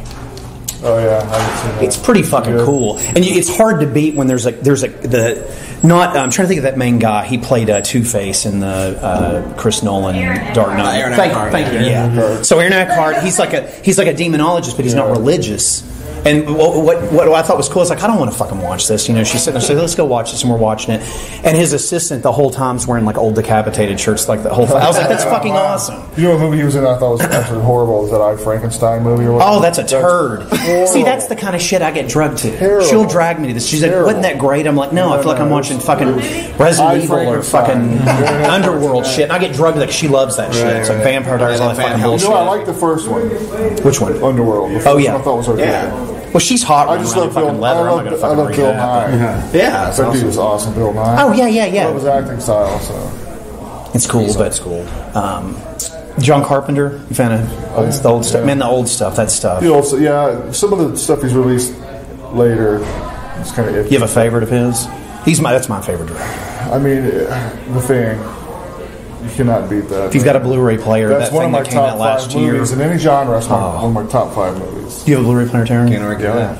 That Blu-ray that Scream Factory put out of that last year, did you buy that? Yeah, it's awesome. We may have to get you. It's a my copy. best- Give send best you a gift. yeah. I'm telling you, I dude. love- that's one of my no, it's fucking. Actually Kurt Russell's Uh, birthday they get they get so- everybody that's alive Day, on that. Even Bublé Wilford drops. Brimley's in that damn documentary, but no. Kurt Russell, which sucks. But I wanted. He didn't want to do it. Well, no, it's not that he was shooting that uh, movie or He something. do Yeah, it, or- Fast and Furious thing or something. I don't know what he was doing because they actually asked him to do it. But Death Proof or something maybe. yeah, But uh, all right, yeah. But yeah, I mean that's definitely one of my top five movies. I like Escape from New York. oh man, that movie's fucking. One movie I haven't seen that he did was that Dark Star movie. It's really weird. It was. I heard it's weird. his student film. It's Yeah, the first thing he I, uh, did. I It was like. it. Uh, yeah, Assault on Precinct 13. I think it's a great movie. That's good too. Yeah. the soundtrack, his music, man. We Yeah. we wanted to go see him last year because he was touring, playing you know his music or whatever. Mm-hmm. And then I saw some of it on YouTube, and I was like, "What are you doing?" And it was just, I thought it was gonna, it was like his kids playing with him instead of like the guys that actually played with him and stuff on stuff. What do you think about the uh, Rob Zombie? How, how, Thirty-one was actually surprisingly all right. Did you see Thirty-one? That movie's actually crazy. It's nuts. I don't mind oh, him if he's doing his own thing, but those Halloween movies were I fucking did like the terrible. Halloween No. God, no, they're fucking terrible. You just don't. Okay, here's your here's your good Like question. John said that you know the shape or Michael Myers, whatever. He's like a force of nature. You don't like tack on like a. Yeah, he was fucking bullied in high school learning Metallica shit. Yeah, it's it's like just, come on. you don't need to. He's a force of nature. Just let him be it is. menacing and Some nobody people knows are why. born Yeah. bad. Exactly. Did they you like? don't need to be turned bad. They're bad already. Right. It's one of those things. I love over Halloween three. A lot of people hate that movie. I love that movie. That movie's fucking amazing, man. one. Well, see, I love that Yeah, movie. well, see, that's when when John was doing that touring last year. Initially, Tommy Lee Wallace, that directed that, was supposed to be out with him Yeah. because he was initially part of that his band when he would like record stuff. And did the Big Trouble in China soundtrack and all that stuff with him. And then when they, all those guys started dropping off, Alan Howarth, all those guys that worked on the scores with him, I was like, I'm not going to go fucking see this. It's just him standing up there with a keyboard. I'd love to meet him, but apparently it's impossible to do. So Yeah. whatever. And I can see where he probably would be a dick. Yeah, that's what he I've said. He says that I've all the read- time. I've read and heard him talk, and he, he's kind of a dick. It sucks. It seems like all the directors, because I'm a big David Cronenberg fan too, and it's like, Oh, yeah. apparently he's a fucker. 'Cause I know people try to meet him, and it's the same thing. but- Scanners is my favorite movie of his. I like. Scanners. Oh yeah, man, that's a good. What, which one did we do? He an did The episode? Brood. He did. We actually Yeah, did yeah, an we did. episode. That's of kind of that. a creepy movie. Oh yeah, it's We got creeped out on the podcast watching it. I hadn't seen it in Yeah. years. I was like, That's this a movie's good one. Like fucking. that. You know, The Fly, I think, is the goriest The thing. Fly. That's the goriest movie. I heard they're going to redo it. They are. They're supposed to redo it. Weird. Yeah. Who the But hell's that is a good redoing one. I have no that? idea. But that, That movie is disgusting gory. I even like the second one. You should see Jeff. With Eric Stoltz or whatever. Yeah, it's a Just good 'cause movie. there's some oh, good creep. There's some good shit in that one. Mm-hmm. I mean, you know. the whole insect thing. I know that's his worst. It freaks me the fuck out. Like, you ever seen the movie The Nest? That movie horrifies me. The fucking cockroaches. Not Oh man, that, it's How old. Stung? It's old eighty. I have seen that. That's horrifying. Any kind of insect where it's you're Yeah. inside, you are turning into an insect. I'm like, Parasites. whoa. you ever watch Monsters Inside Me? No, I've never seen that. That's Oh just my God, disgusting. I too. love, I'm hooked on that shit. Dude. I Oh. love it. Speaking of Cronen, there's another gross Cronenberg movie, that Shivers movie with the little things Yeah. living in the worms or whatever in the hotel or whatever those people are, or housing community or whatever the hell it was, apartments. Movie's fucking raunchy, but Yeah. All right. Um, Well, Guys, you got anything Uh, else to no, just plug on there? Thank you for interviewing us. And, Yes, man. You know. Everybody go out and buy it. Yeah. It's out today. It's out Bye, today. They're on bye, tour bye. with Kreator. Yeah. And uh, Midnight you can Tour, see check us. that Yep. out. Yeah, come out and see us. Yeah, come out and see us. Let us know what you think about the album. This is Terry Butler from Obituary, and you're listening to the Fantasm Podcast. Perfect. All right, I'm gonna blow this. this is Kenny Andrews from Obituary, and you're watching the fan. Watching, god damn it! Yeah, you set yourself up. We're watching. all right, all right, all right. This is. Uh, this is oh yeah, this is Kenny Andrews from Obituary, and this is the Fantasm Podcast. Awesome. Fuck yeah, man.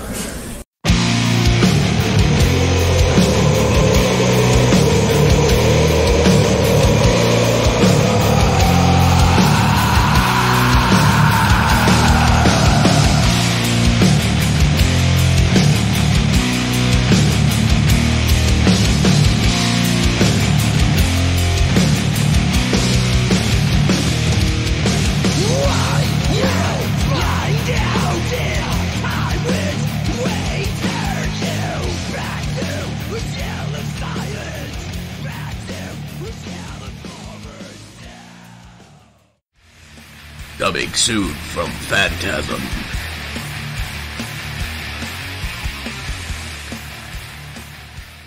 Good evening, Walnut Lake shoppers. It's closing time, The store will be closing in 15 minutes. but the night crew still has work to do. We're gonna get in so much trouble. Because there's one last customer who isn't satisfied. No, this creep keeps calling her. He's driving us nuts. Leave me alone. He wants to slash their prices. Who's there? He wants to cut their inventory. You're crazy. He wants to chop until they all drop. I saw him kill Linda. And now he's turning their retail store There's gonna be one more killing here tonight.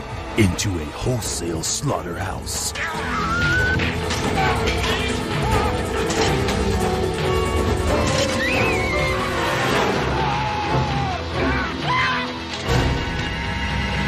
From the producers of Evil Dead 2 and Pulp Fiction comes a new chapter in terror.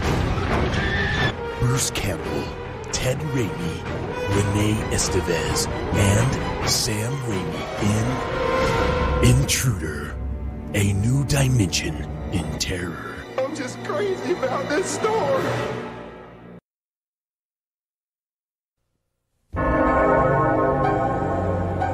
Every legend is based on fact. Every myth is grounded in truth. For 17 years, the town of Haddonfield, Illinois has been haunted by a night when evil roamed the streets and a madman ruled the night. everyone knows his name. Now, everyone will know the truth. I knew what he was, but I never knew why.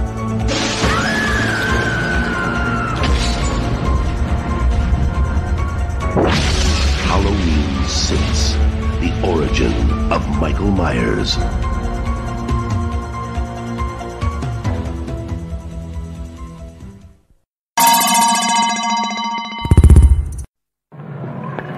See Jimmy Lane as Reno Miller, a man driven to the very edge. And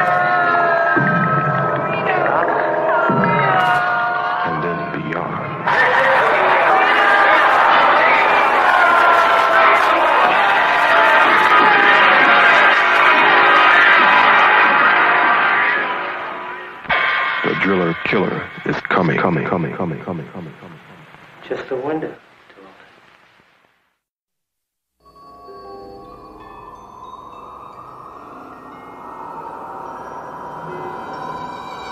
Stuart Gordon, the director of Fortress, The Pit and the Pendulum, and Reanimator, takes you into the dungeons of Castle Dorsino.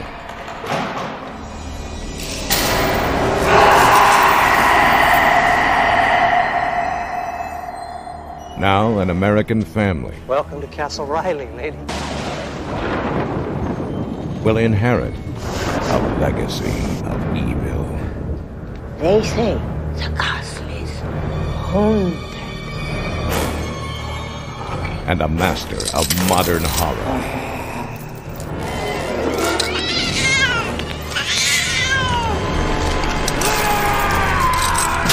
Will unleash his most terrifying creation. Stuart Gordon's Castle Freak. There's somebody else here! There, there's somebody in the castle!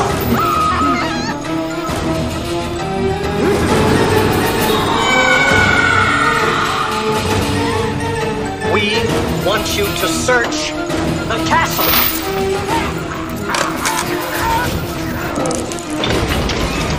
Giorgio Dorsino. He was never buried. She kept him alive. He's here somewhere in the castle.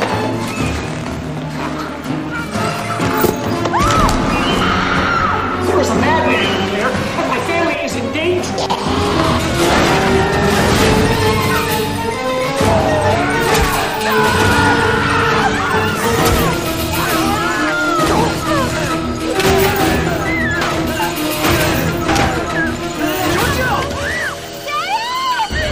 Reanimators Jeffrey Combs and Barbara Crampton. In Stuart Gordon's Castle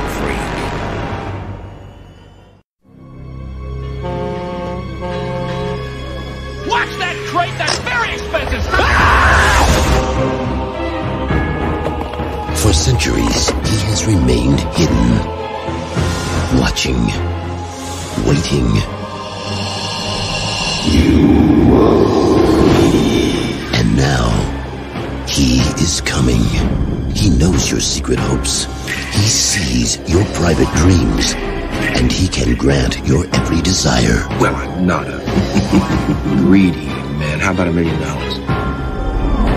I remember a certain potentate whose last party was talked about for centuries. Oh, God, how I'd love to host a party like that. I wish to be beautiful forever.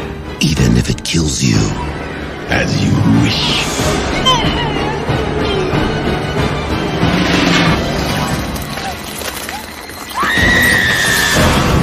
Was it worth it? You like to escape? No! Beg for your life. Help me! Pray for your soul. But whatever you do, ready to play? Don't make a wish. Ah! Wish master. Careful what you wish for.